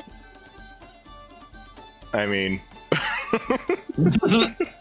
A quest for your favor. yes, I shall go and prove my. Yeah, yeah, good night. the master deer smirked as he held his onto his sword, running off to conquer hearts or whatever it is a captain of the guard does in his spare time. Sep couldn't have cared hmm. any less if she had tried at that precise moment. Well, butter my backside and call me a biscuit, Sep. You weren't kidding when you said you got him wrapped around your little finger. I'm almost glad to see I wasn't the only one you played with tales of knights and princesses. Hmm. I think a lot of people would like to butter Adder's backside. oh my god, I was trying so hard for once to be good for once in my horrendously perverted life. So you, you just sorry. and then you me gotta go and do that to me. You gotta do, go and do that to me. almost. Sep was about to lock the window, and her eyes caught a glimpse of what looked like a pile of hay, attempting to walk away. Uh, that's what I get for talking. First, you eavesdrop on my past, and now you spy on my present. Why, Adder, perhaps Ooh. you should be the one reading my fortune. Hey now! That's a load of radish stew. I wasn't listening in. Nope. No, ma'am. My pa taught me better than that. I, I, I was just taking a stroll around the district and, uh, Huh, looking for a Eight years place to spin Christmas. rivets. And here I thought you were the type to take matters into his own hands. Oh my. Sep's words took a moment to sink in. Past Adder pointed the Gazelle and puffed his cheeks up, failing to grasp the proper use of language to reply to her accusation. better stop that if you want me to show you what I can do with these hands. N- n- Wait, wait, hold up. Uh, not like that. I mean it in the bad way. Like, like I'm gonna whoop your ass if you don't. Can I get a moment to think this through? Adder would remember the sheer third person pain of this out body experience and replay it in his nightmares for the rest of his lifetime and part of the next. Sep was rather gracious about it in retrospective. in retrospective. I get the distant feeling you are mad at me. Mad? Mad? I ain't mad. I'm hungry and bruised and dizzy and my head hurts and I got lost a couple of times and I'm starving, but I ain't mad, all right? so listen up and listen well, because I got something to tell you. I'm listening. Sheesh. You! You got me pegged all wrong, you hear? I ain't in the business of eating horns. Never been and never will be. And I don't care how pretty you think you are. Even if I liked you, you can't just go around stealing kisses like it was no big deal. That ain't right, ma'am.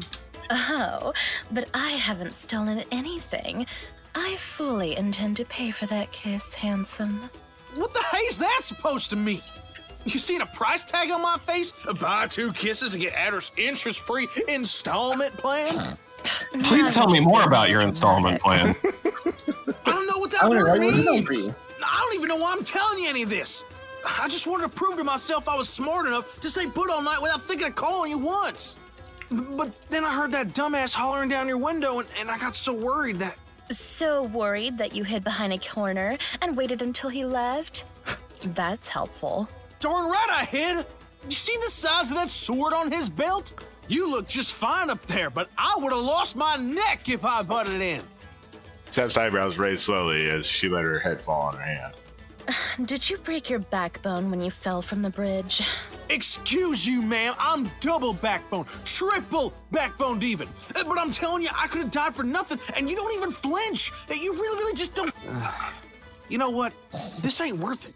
I'm going home. But wait! You can't just leave like that. I, I still have to pay you back. Adder halted mid-step, threw shoulders back and forth as the sounds grew thicker in the street. I may not be all that smart, ma'am, but I've learned. Oh, I'd say I've learned a lesson or two on how to keep my head on my shoulders since I came to this city. And I can tell right away, you ain't the type to return favors. I don't know what you see for a sep or a plain old Zelda ever want from me, but you're gonna have to find yourself another buck to laugh at tonight. Is that so? Fine then. If you see the one eyed chub I was waiting for on the way back home, wish him luck figuring out how to read gazes all on his own. You ain't got nothing to worry about, ma'am. He'll just have to do without magic as usual. I hope he can do without food, too, because I'm going to throw away the desserts I ordered for him. That's a. mhm. No. Yeah? For real? no, it's a bluff. You're bluffing. Am I? Both Adders watched intently as Sep unlocked the window extended an arm slowly through it. She opened her whole hand, save for two fingers, letting a tiny square pastry dangle out of the mashrabiya. But it was not any pastry. Oh no. Adder nearly drowned on his own saliva as he stared at the beautiful puff pastry filled with fig marmalade, covered with a generous layer of nuts slathered in honey, and topped with a beautiful plump date, cut to resemble a flower with an almond in its center. So now it's food porn. Yes. Don't forget they're in their mind too. So yeah, uh, food porn in the mind. That does sound delicious, though. Yeah. it does. It's probably worth And more I than always Adder's- get hungry just before we start streaming. of course. It's probably worth more than Adder's total lifelong earnings. It was the kind of pastry kingdoms fell and were built for. It was a honeyed dental cavity waiting to happen. Catch. Pastry seemed to float briefly in the air as Sep let go of it. Adder hurled himself toward the divine gift that was being offered to him and cushioned its fall, thanking the gods for his colossal pastry-catching hands. He didn't so much eat his bribe as inhale it, believing himself unworthy of presenting such a treat upon his taste buds. Discovery of this new order in the scale of flavor could have been classified as a religious experience for a boy that had been feeding exclusively on tiny stale potatoes for a year, and mostly oats before that. I, I think I've fallen in love, man. Just don't fall on your face again on the way up. There was surely more banter to be appreciated as a newly bought buck dashed over almost vertically up a column. It was, after all, the beginning of a relationship based upon pastries, quick wits, and uninhibiting wine.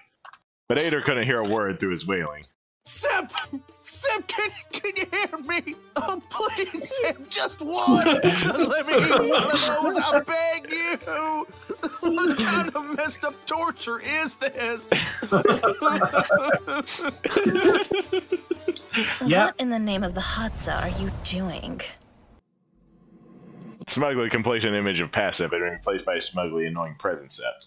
Feeling sorry for myself?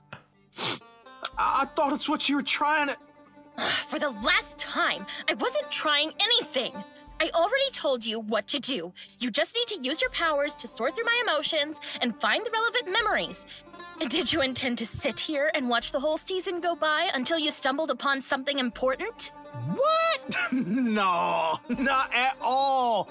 Come on, Sep. I ain't that dumb. That's that's just what it looks like from the outside. Yep. but uh, I'm open to ideas if you got them. A volcano about to erupt would look far more benevolent than Sep at that moment. Please tell me what to do, ma'am. This is too weird for me. I'd say I can't believe this, but then again, it's my fault for putting so much trust in a poor excuse for an apprentice such as yourself. Say what? Think you got that backwards, Missy? You were a poor excuse for a teacher. Every time I asked you to let me read you, you just looked away, said some weird riddle, and told me to think about it later when we were done with everything else. A good teacher makes sure to only share as much information as their student can handle, and a good student is supposed to strive to learn more than they're taught. You should have done your homework and practiced on other people. And how was I supposed to do that? I spent moons trying to read my friends' gazes, but it was like like I was all out of fire, you know? It, it was darker than before when I tried to look inside them. I couldn't see nothing at all. Even my boss looked colder than ever. But after you showed up, I I stopped feeling like that. Uh, When I felt your warmth and, and I saw you smiling and, and talking to me, I, I don't know, something changed inside me.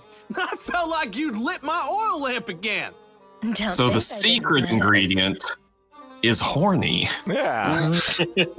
All right, that's I'm not sure it. it's a secret. If you're gonna be a smartass and twist on my words to make me sound like I'm Randy as a trout, you can go find a way out of your Randy head on your own. Well, if I had a nickel for every time someone's called me Randy as a trout, Hey, keep that sarcasm where I can see it. And where would that be? Adder opened and closed his mouth wordlessly a few times before turning and marching away from the desert rose. Wandering aimlessly around the desert in angry haste seemed like a good idea until it was obvious it was not. Quick glance revealed a rather amused Sep waiting expectantly for Adder's unavoidable concession. So where were we before you did the thing where you try to embarrass me so I'll stop talking about a thing you don't want to talk about? Something, something, we're gonna wind up dead if you don't teach me right? Fine, I'll be lenient and take my share of the blame. I tried to teach you to read gazes in the same way Mom taught me how to do so when I was a fawn, but it's evident that I was already leagues ahead of you back then. Yeah, yeah, I'm a dumbass and a thick skull, and I'm lanky, and this is the closest my family's ever gotten to read. See, I ain't arguing or anything. Can we move on with the lesson now? Sep stopped walking for all a reply. Adder mimicked her, secretly congratulating himself for winning the argument somehow. Ignoring her traveling companion silently rejoicing, Sep stared at the ground until a cushion sprouted from it, fully formed and fluffy. Adder awaited his turn eagerly, but she didn't extend the favor to him, lest resting on his, his butt on anything other than sand would weaken his resolve. Tell me, Adder, do you know why us gaze readers have survived so long? Why no one knows our names when our power is so unbelievably useful? No, man, more riddles? Ugh, I don't know, man. I figure either you're good at keeping secrets or you end up getting torched every other week like the merchant. Close, but not quite. You are correct in one assumption, however. If a Barhun fortune teller was to say exactly what they heard inside someone else's mind, they'd be thrown into the pyre without any further questions. It's nothing quite as simple as that, no. There's a bigger reason why we, of all Sephi, have escaped pursuit. Even with our powers being so versatile and obvious, we are not infallible, nor irreplaceable. We weren't born to announce great prophecies or change fates. There was a brief pause. Gazelle harumphed solemnly, trying to signal that silence was out of the question. All right, Teach. Uh, what do we do with the stuff we find out if we can't say it, or change it, or do nothing about it? Our job consists of weaving histories, Adder. We take the broken bits and pieces that make up a past and tie them together to form a present. We learn and advise, for understanding the past is the closest anyone can get to predicting the future. These are our fortunes. So we're alive because we're a bunch of scammers making up tall tales. Got it. Uh, Mind if we skip to the important bits now? Ugh, how can you be so bad at this? You're supposed to expand your mind, understand the heft and malleability of your abilities in shaping someone else's fortune, and realize how liberating the lack of your own preset destiny is. You still speaking, Cyrnar? Sep made a noise that Adder couldn't possibly describe, but that managed to transmit without delay the feelings of getting cussed out in another language. Look, man, I don't mean no offense, but we're just wasting time or whatever it is you waste here. I just gotta know how to use my eye magic thing to spot your weaknesses. Nothing else. You can't. That's not what this power does. All you can do is follow a current of emotion through the Hatsa, watching the many memories it ties together until you reach its logical conclusion. There's a shared source for all of them. Yeah, she's she's not uh, speaking at Adder's level here. nope. She, she keeps trying to uh, weave together this very esoteric thing while he just wants to know where to. How do I shoot the eye laser at the big glowy point to make Yeah. it work? how, do I put the, how do I put the basketball in the net? How does I shot web? Okay, so how do I do that? I don't know, but it's not that hard, damn it. Think of the emotion you want to capture and then follow it. Spin the threads, sail the current, pull the carrots out, or whatever it is that you farmers do. Just picture what you want. I She think has to the get angry metaphors to is just contact don't cut it. I for like that. Maybe it's because I'm dense, but I've always been the kind of buck that learns better watching someone else do things first. Riddle me this. What do you imagine when you're trying to find your way through this stuff? Sep looked completely taken aback at the question. Her eyes shifted nervously from place to place until she realized that there was literally nothing else to look at in the desert but the boy in front of her. It's a diary, okay? I- I know what you're going to say. Talking to myself is weird. Well, screw that. I've spent most of my life alone. Besides, I've been writing since I was a child. Do you know how hard it is to give up that kind of. You don't have a clue what a diary is, do you? See, she she's like way up here and Adder's down here, and she can't even comprehend where Adder is. Yes. He's an ant and I'm a giant. Adder shook his head awkwardly. Felt almost bad seeing how pointlessly flustered she'd gotten. After a few moments of contemplation, Sep turned her face down, set toward her lap. She opened her hands with her palms turned up, watching them intently as dust began to gather in the shape of a rather unassuming worn out book. It was the same one he'd seen in her room. A diary is like a friend in a book.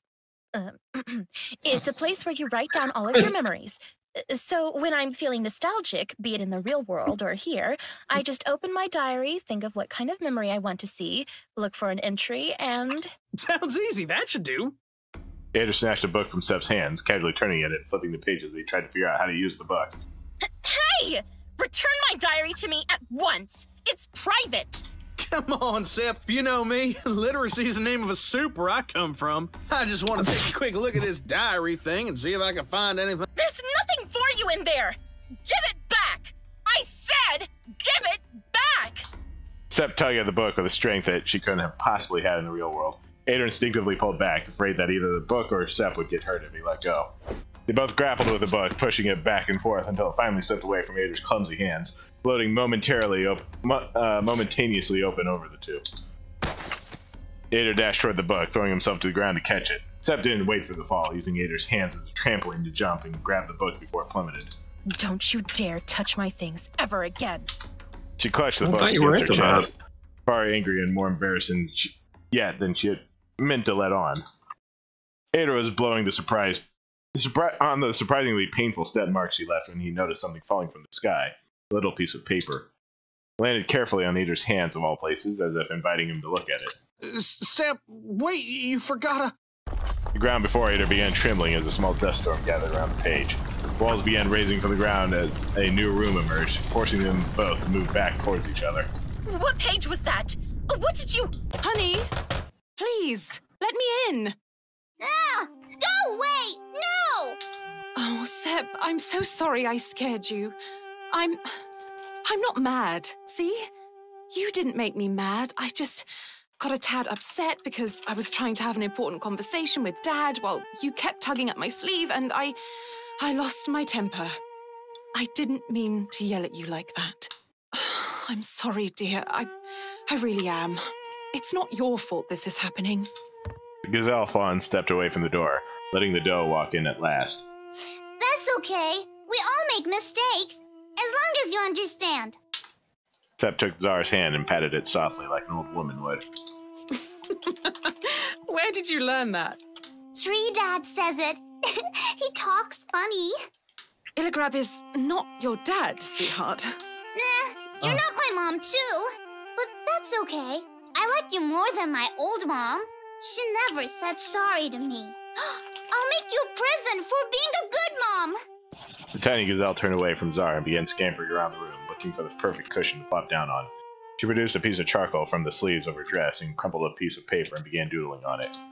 Or at least, that's what Zara thought at first. She soon realized that the lines Sep was drawing on the paper were far more elaborate than mere scribbles. Did Illigrab teach you how to write too? Mm, no, Big Bro teached me.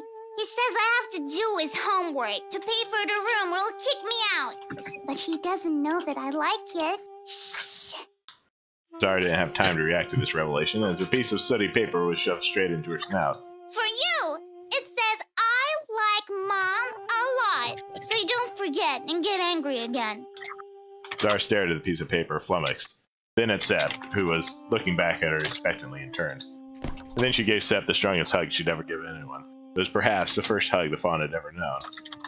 Zara let go of her all of a sudden, prompting a quizzical look from her child.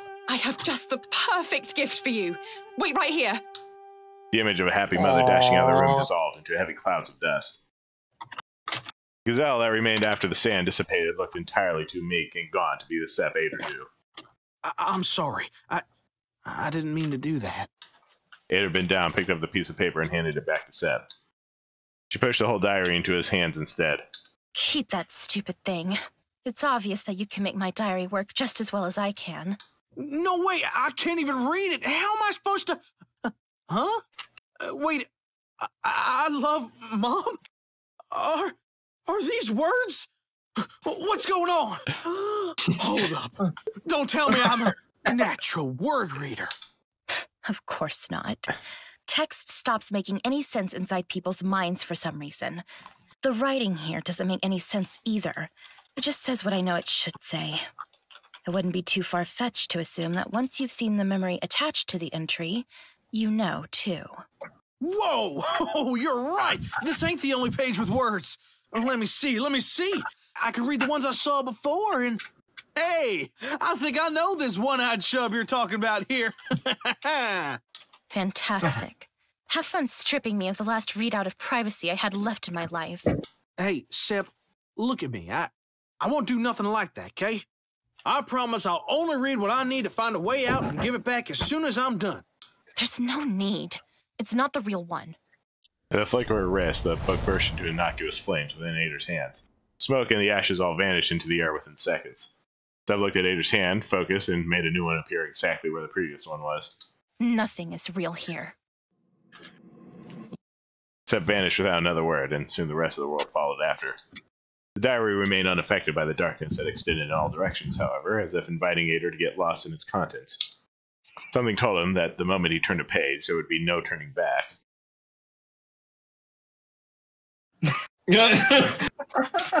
so, uh, which one do we have here? We have the uh, the fourth wall breaking one. Actually, I'm very curious to see how he handles a fourth wall break. oh, dang it! it's real. It's real. I was really hoping he'd be like, "Hold on a second now." Our sophists, me, are working tirelessly every day to ensure that the diary works like a charm. You off chance you found any bugs? No, you didn't, but if you super did, please contact support e- email through Steam or review bombing. Thank you. Okay, Sep's diary. Don't open that door. Chris?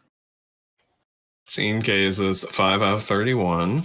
Okay, so this is interesting. This is finally the first sort of gameplay we have aside from just like little choices. Oh, look at the top there. Dear Diary, if anyone other than me is reading this, please burst into flames and kill them.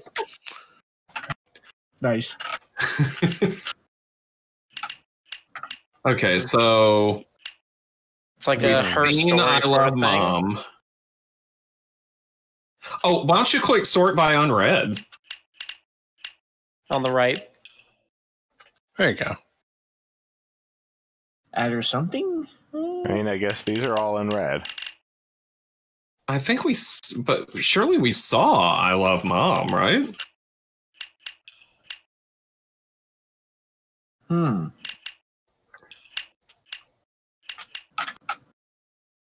Because that was the the one we just saw. I'd have thought. Oh, oh, you just read. You can click see this video. Dear Diary, Mom says you are mine now, and Sid, you are a friend and a buck, and I can tell you things when C is busy, and I can tell her you are like Yuff and Tailored, but not Yoff and Tellid, but not dumb. Uh, Geoff. Here. She knew Geoff even as a child. Yeah, well, he's the. I'm pretty sure he's the one she's been referring to as her brother. Maybe. I don't know. He didn't look that old. That's the thing that kind of gets me. I didn't think he was that old. He's just short. Yes. He's just short. All right, so we've got air. Dear diary, Mom telled me today that she's a Dow and I'm a Gazzle. But we're family, and I said I now, but she said the rest don't now, so they're dumb, and I agree. Technically, technically, technically, technically, technically. Okay, so we've definitely seen that one. Mm-hmm. Don't open that door. The guy came back last night. He smelled really bad. Jeff says that he's here to return me to my real parents because everybody hates me. I hit him. He hit me back. We hit each other a lot, and I got so angry that I grabbed his head and pulled at his hair. Then I felt really strange inside, like my eyes were really sore. I don't know what I did, but Jeff was crying. He won't let me see, but it must have hurt a lot. Mom came when she heard, but a guy was with her, and he got really mad. Screamed at me and mom, asking who I was and calling mom names. I don't know what's happening. They left me all alone up here. I can still hear them screaming in mom's room. I'm scared. I don't think we've seen this one. Nope. Hmm. I think it's a brief. No, we did. We Yeah, did see this one. Oh, we did? Oh, I see. It was only very, very brief. Yeah, but we didn't get to see the whole thing. Yeah. Once more, Adder felt his mind being desperately dragged away from this memory as much as he tried to see what lay beyond that door. The smell of blood and smoke clung to his skin and er- as everything went dark. Thread of thought Adder was finally dissipated into something untraversable. This current would take him any further. Okay. So what about alone? Why I is think everyone they just screaming at me? up. I can't choose. This entry contains several pages. I should have left. I should have left. I should have left. I hope Geoff gets stabbed in his sleep. I hope he dies as he crawls back. I give up. The nightmares won't stop. I hate deer. I hate deer. Ooh. Oh, honey, Oh, come I- on. You uh. can't stay mad at your poor brother forever. He is no brother of mine. What would Thar say if she saw you two fighting like that?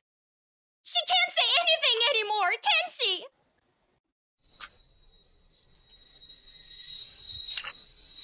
I did. Okay, so even if we have seen some of these memories before, we're getting some additional choices now. Yeah. The current became more and more complex as Adder traveled down this path and mixed mysterious emotions and torrential thoughts that would make little sense to him without further context. Memories missing one. Okay. Oh, interesting. Okay. So he's got he. We're basically playing. I'm trying to remember what the game was, but basically We we're got- trying to fill in the memories. Yeah, so it's like uh, her story or uh, what was the other game? The, the Doom. Uh, that's what it's starting to remind me of. See here. Dear Diary, how are you? Am I supposed to say that? It's been a whole eternity since the last time I wrote an entry, and I do not suppose that this is bound to happen again anytime soon. Referring to a book in second person is quite an awkward thing to do, especially for the famously obscure Jassi for the eternal novelty of the Desert Rose. Yes, as you can see, this is hardly the most pretentious thing I've done as of late. God, say, I really used to do this every day as a child. Anyway, you may be wondering why I'm writing now of all times. Should be one. I would be wondering at least. I had to endure a rather tumultuous night, and I cannot sleep as much as I try. I really feel the need to get this off my chest and tell someone what happened, but I fear you remain the closest thing I have to a confidant. This is getting more pathetic by the second, so I might as well just lean into it and explain from the beginning. This says this is page five of six, interestingly. Weird. Oh, she. Oh! What did page one say, though? Uh, this, that was page one.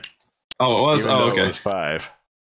That's weird. Okay. So That's a I glitch. guess- I should I guess probably it was tell them glitch. about. They did say that this is maybe a little buggy right now. Yeah. Yeah, true. I have a crush might wanna diary. mention I think I do. And I think it's mutual because every time I visit the Temple of Hera, I find the same white-haired creature watching intently from afar. Their presence then shivers down my spine, the good kind of shivers. Their long white hair is so graceful and ethereal, but their bodies so chiseled too. They look like they could snap an iron beam with their own hands. Oh, but what I really love is the way they stare at me, so intense, so hungry, and I may have stayed a tad too long in the temple looking for my absent watcher. It was far too late to risk walking home when the temple lies so close to the slums, and I knew I would not hear the end of it if I disappeared two nights in a row, so I decided instead to take a completely different kind of risk. I snuck into the royal pathway. I was crossing the stretch that goes right over Slander when who do I see but the mysterious albino running after Gyoff no less. I need to talk to them more now than ever, I thought. We have so much in common. So there I was enjoying the show, and I heard a patrol coming my way. I tried to leave quietly as usual, knowing they aren't ever precisely in a hurry, when a ridiculously eager new recruit managed to sneak up on me. The second I was cornered against a railing, no chance to escape. I knew his partner well enough. Awful old man. He gave me a choice that was truly not one to humiliate myself to prove my identity or get dragged to the dungeon. In retrospective, I, that would have been the smart choice. I could have just walked in and told Ilgrab what happened. But pride would not have me relying on old friends, so I tried to buy my way out as I would normally do. Except I miscalculated. I said too much, and the guard must have noticed some serious gaps in his memory. He lunged forward, grabbed my neck as I convinced myself I was going to die. I almost felt. Is it silly to feel that a single sentence would tarnish you, diary? If I write these words down, they will always be there for me to see and remember. That would not help, would it? I have no control over my thoughts, but I have control over these words at least, so I choose not to say them to you. Doesn't matter either way, for that moment didn't last. Get your mitts off her, shouts this random one eyed chubby road deer in the thickest accent I ever heard in my life. And he screams and screams at them to leave me alone, and not content with that, he climbs half the height of the bridge and falls on his head. It was adorable as it was sad, but it seemed to have made enough of an impression to prompt the new guard to do the obvious right thing and take the creep to the dungeon instead of me. So I'm writing today because I, I want to remember that. This anonymous act of heroism? No, that may be too great a name. Idiocy? Selflessness? Selflessness begets selflessness. That should be a proverb. Does that sound like a proverb to you, Diary? I promised the boy that I would make up to him personally, but I'd better steer clear of the slums for a while. I will find him, though, eventually. I trust my bad luck just fine. I am still awake as uh, thought keeps encroaching over all the others. I just remembered how hot and bothered that idiot got when the guard accused him of being a horn eater. That is what prompted him to climb the bridge, not what happened before. Did he notice my horns at all? Just who do you think you are? Yeah, this is probably going to be exactly the same thing. I won't fall for your barn. Maybe. I don't suppose you. There's buttons on the top right and left if you want to just exit. Take a step back. What? But she's trespassing. What if I say skip memory?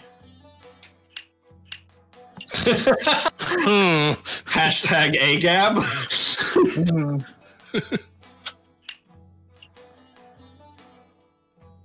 I don't know what they're referring to right here because I skipped it.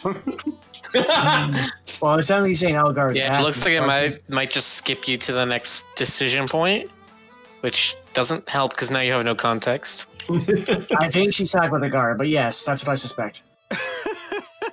I'm so dead. I'm so, so, so dead. It's all right. I lived a good life. And I can say bye with a smile. Tell my friends I love them and burn me with my purse for my boss figures out where all the missing rivets go. For the last time, Adder, the wine was not poisoned. Adder couldn't believe her, but then again, he could barely believe anything at this point. He eaten figs and dates and honey pastries by the dozen, sitting on cushions so like clouds, and he drunk wine so sweet they could barely believe it was liquor. So easy to drink it was uh, by the time they finished the first pitcher that they were all drinking from each other's mouths instead. And now Oh my Eder- God. laying on his host's bed with a disheveled gazelle in one hand and a tiny ornate cup in the other. Now, don't take me wrong. Now, I'm just saying, a gazelle inviting a poor buck to a fancy palace, feeding him food this good, and getting him all drunk? I've heard this kind of story before, ma'am, and it always ends with Barhan curses and deer turned to stone. Well, a part of you is going to turn to stone, but. oh my goodness. like I could make it any Oh. harder. Why is this game always thinking what I'm thinking? Why does this keep happening to me? How am I supposed to make with the ha when the game is all I was talking about your skull. What You're being you out thinking? fanficked. now I'm thinking that maybe it really is as thick as y'all say, because as much as I try, and I tried, believe me, I just can't shake the feeling this is just too good to be true. You sure you ain't about to curse me or something? So what if I am? Hmm. What if it turns out I'm a Sephi and I put a spell on you? Isn't it a little too late to run? You know what? I think I just let you do whatever you want to me at this point. Just don't leave any mark. No, I'm definitely not ever going to leave burn scars That's on you. beyond inappropriate. Whatever happened to the shy boy I took home today? You served him wine, ma'am. He drank it, and now that he's drunk it, he's drunk. And that really makes him feel like telling you how pretty your horns look, and how cute your fluffy little tail is, and, and how much he loves your hip shaking, earthquaking, heart melting butt. So that's just the wine talking, hmm. Not a chance, ma'am. Adderson, son of Gerfat, says what he thinks all day, every day. Wine just makes him say it a little louder. Really? I'm not so sure about that. I have a feeling that you'll start looking for excuses the moment alcohol stops being one. And I'm going to take the brunt of the blame, as usual. Hey now, I may look like a crook and smell like a crook and talk like a crook, but there ain't nothing farther from the truth, ma'am. I'm a knight at heart, and I say I'm in everything that I did today. That man is Might you say? Never mind. You are drunk. Adder took both of his hands to his mouth, effectively hiding his whole face instead. You didn't hear any of that. Oh, I most certainly did. How could I forget I was dining with Sir Adder? No, Lord Adder, perhaps. Milor Adderson of the High Field. It's Adderson of the upper field. And you're the last person in the world that gets to make fun of me for wanting to be something I ain't. Sep. At least I have the decency to call myself Jacif before and after two cups of wine. And so should you. Before you slip and tell someone. Don't you worry your pretty striped face. Your secret's safe with me. I won't tell nobody you're a sep if you promise you won't tell them I'm a horn eater. I refuse to make any such promises unless you can prove your aptitude for keeping the secrets you've stolen. Also, you need What's to prove that you're a that? horn You eater. think I'm gonna go and spill the beans the moment you turn around? Alrighty then. I dare you to come at me with any kooky spooky mind reading magic stuff you got. My lips are sealed, ma'am. I won't breathe a word. Is that so? Then brace yourself, Adder. I'm about to show you a millinery memory altering technique. A waterfall of wine fell on Adder's face.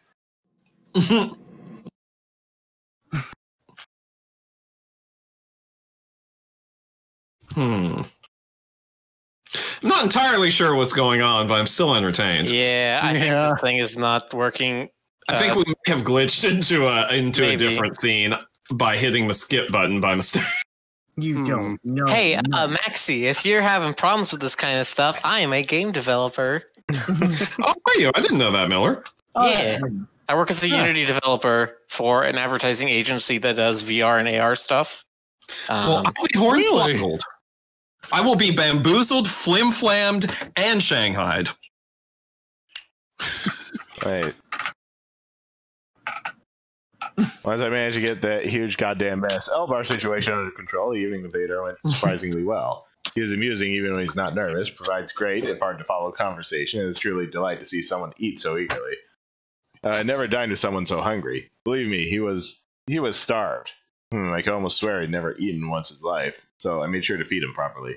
Perhaps one day I shall recount the night I taught Sir Anderson of the Highfield table manners, though ah, I should guess I should explain. I think this page counter is not getting reset. Ooh. Yeah. no. Ooh, that's, that's bad. Ah, that's fine. It would seem This is poor, fine. poor slum dweller is far more ambitious than I gave him credit for. He has some truly tall and deluded dreams about becoming a knight that I'd just love to hear more of. Though I don't believe I'm quite idle enough to follow up on the adventure of some prairie bum. bum. Am I? So wait, what what happens if I do this? This is definitely. and so click the other one. Not often that Adder gets to take a good look at his back, much less while he's sweeping the entrance to the temple. It would seem, however, that this memory started with someone staring intently from a distance. Two people, actually. Nice rack you have there, broom boy. Oh, shucks! You really think so? Oh, No, yes, this it's wasn't quite impressive. For dough! Then they high fived each other in slow motion. Yes. say what? You want to get down here and say that to my face? Keep your head and walk away. Huh? This is Sep. What you doing here? Saving your neck, obviously. What do you think you're doing? Elbar won't lower himself to your level, but don't doubt for a second that he will send his guards after you if you provoke him. I'm the one provoking him? Didn't you just hear what he said? Oh, please. Can't you see? He's only insulting your looks because he doesn't have anything more meaningful to say about you.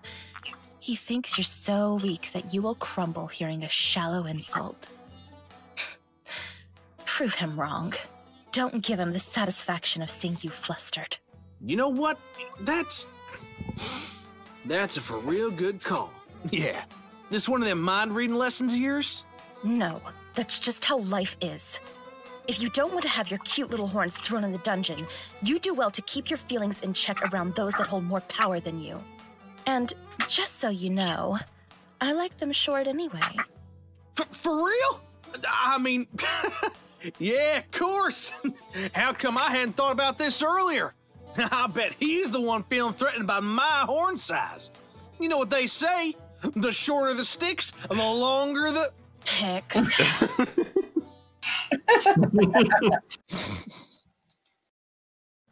if only you knew. Oh my goodness. okay, something. Oh, it's uh, also midnight. So there's yeah, it is midnight. It is So midnight. It's, Okay, it's kind of so weird because I half think that the weird ordering of these things is almost on purpose. We've done a lot of, or like a little bit of time jumpy stuff before this. And Yeah, the idea I you're just kind of like- ripping through her memories randomly, like it would make sense, but I feel like hard to tell. I feel like uh, we've we've we've reached a point in this build of the game where Um, I, I feel like we must have triggered at least one glitch tonight, but because of the you know the the kind of surreal, memory hoppy, jumpy nature of this part of the game, it's a little difficult to say exactly at what point the glitch happened. So, um, I know that uh, Maxi is actually watching these streams, um, at least the uh, the VOD. So, um, got an interesting thing for you to see tonight. See, I, am not, I'm not sure that it is a glitch so far. I think this is sort of working as intended, except that it's just a little janky at the moment. Yeah, that's always the yeah. thing. Well, I have to go double check it again, but uh, it looks like it was just uh, a pay, uh, a, pa- a sort of a memory thing, like uh, from one page to the other. Yeah. Yeah, See, I'm. I, Uh, I, th- I think I get what's supposed to be happening here is that we go into one memory and it's supposed to prompt a uh, fork into a different memory, but we're only Yeah, we're supposed go to be into- following Yes, trails. we're only Okay. supposed we're only allowed to follow memories that have like certain pre prerequisite memories met. But Yes. we don't actually know what those memories are. We're just told that we don't have them. Right. So this Yeah, is kind of in a way it's a maze, but it's like a memory maze. Yeah. Yeah, my idea is that we're Mhm. trying to follow her more of uh, emotional sort of ride rather than a temporal. Yeah, exactly. It's interesting. Well, that's kind of what she told us, wasn't it? That we were supposed to be following a thread of emotions. We're supposed to be following her hot stuff. Yeah, we are. I'll follow her hot so anywhere Yeah. it goes. Um,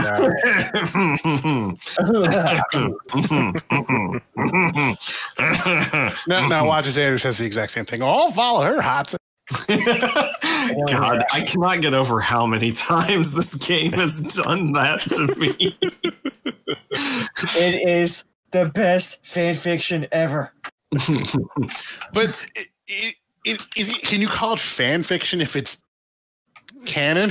No, no, you can't. Doesn't it I make it mean, like I mean, I don't fan know. If it, is it isn't an author supposed to be a fan of their own characters? Well, I'd be See? concerned if an author hated them. I mean, well, I mean that's what the- happened. That's gonna what say- happened with Conan Doyle and Sherlock Holmes. Oh, I was gonna say just ask uh, Greg and Decca. he had no remorse.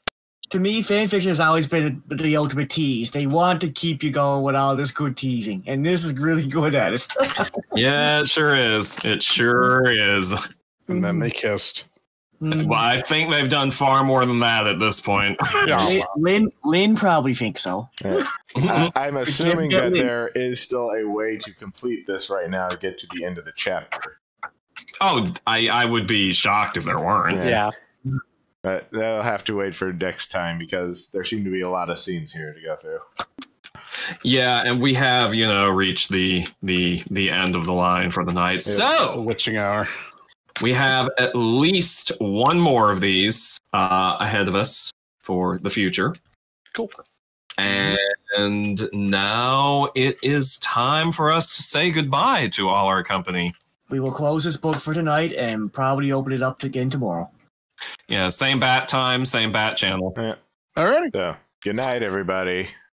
Good night, Good night. Sleep tight. Don't let. mm, I don't know. D- d- d- well, do let me bite. I'm a little peckish. Okay. Good night. Good night. Bye bye.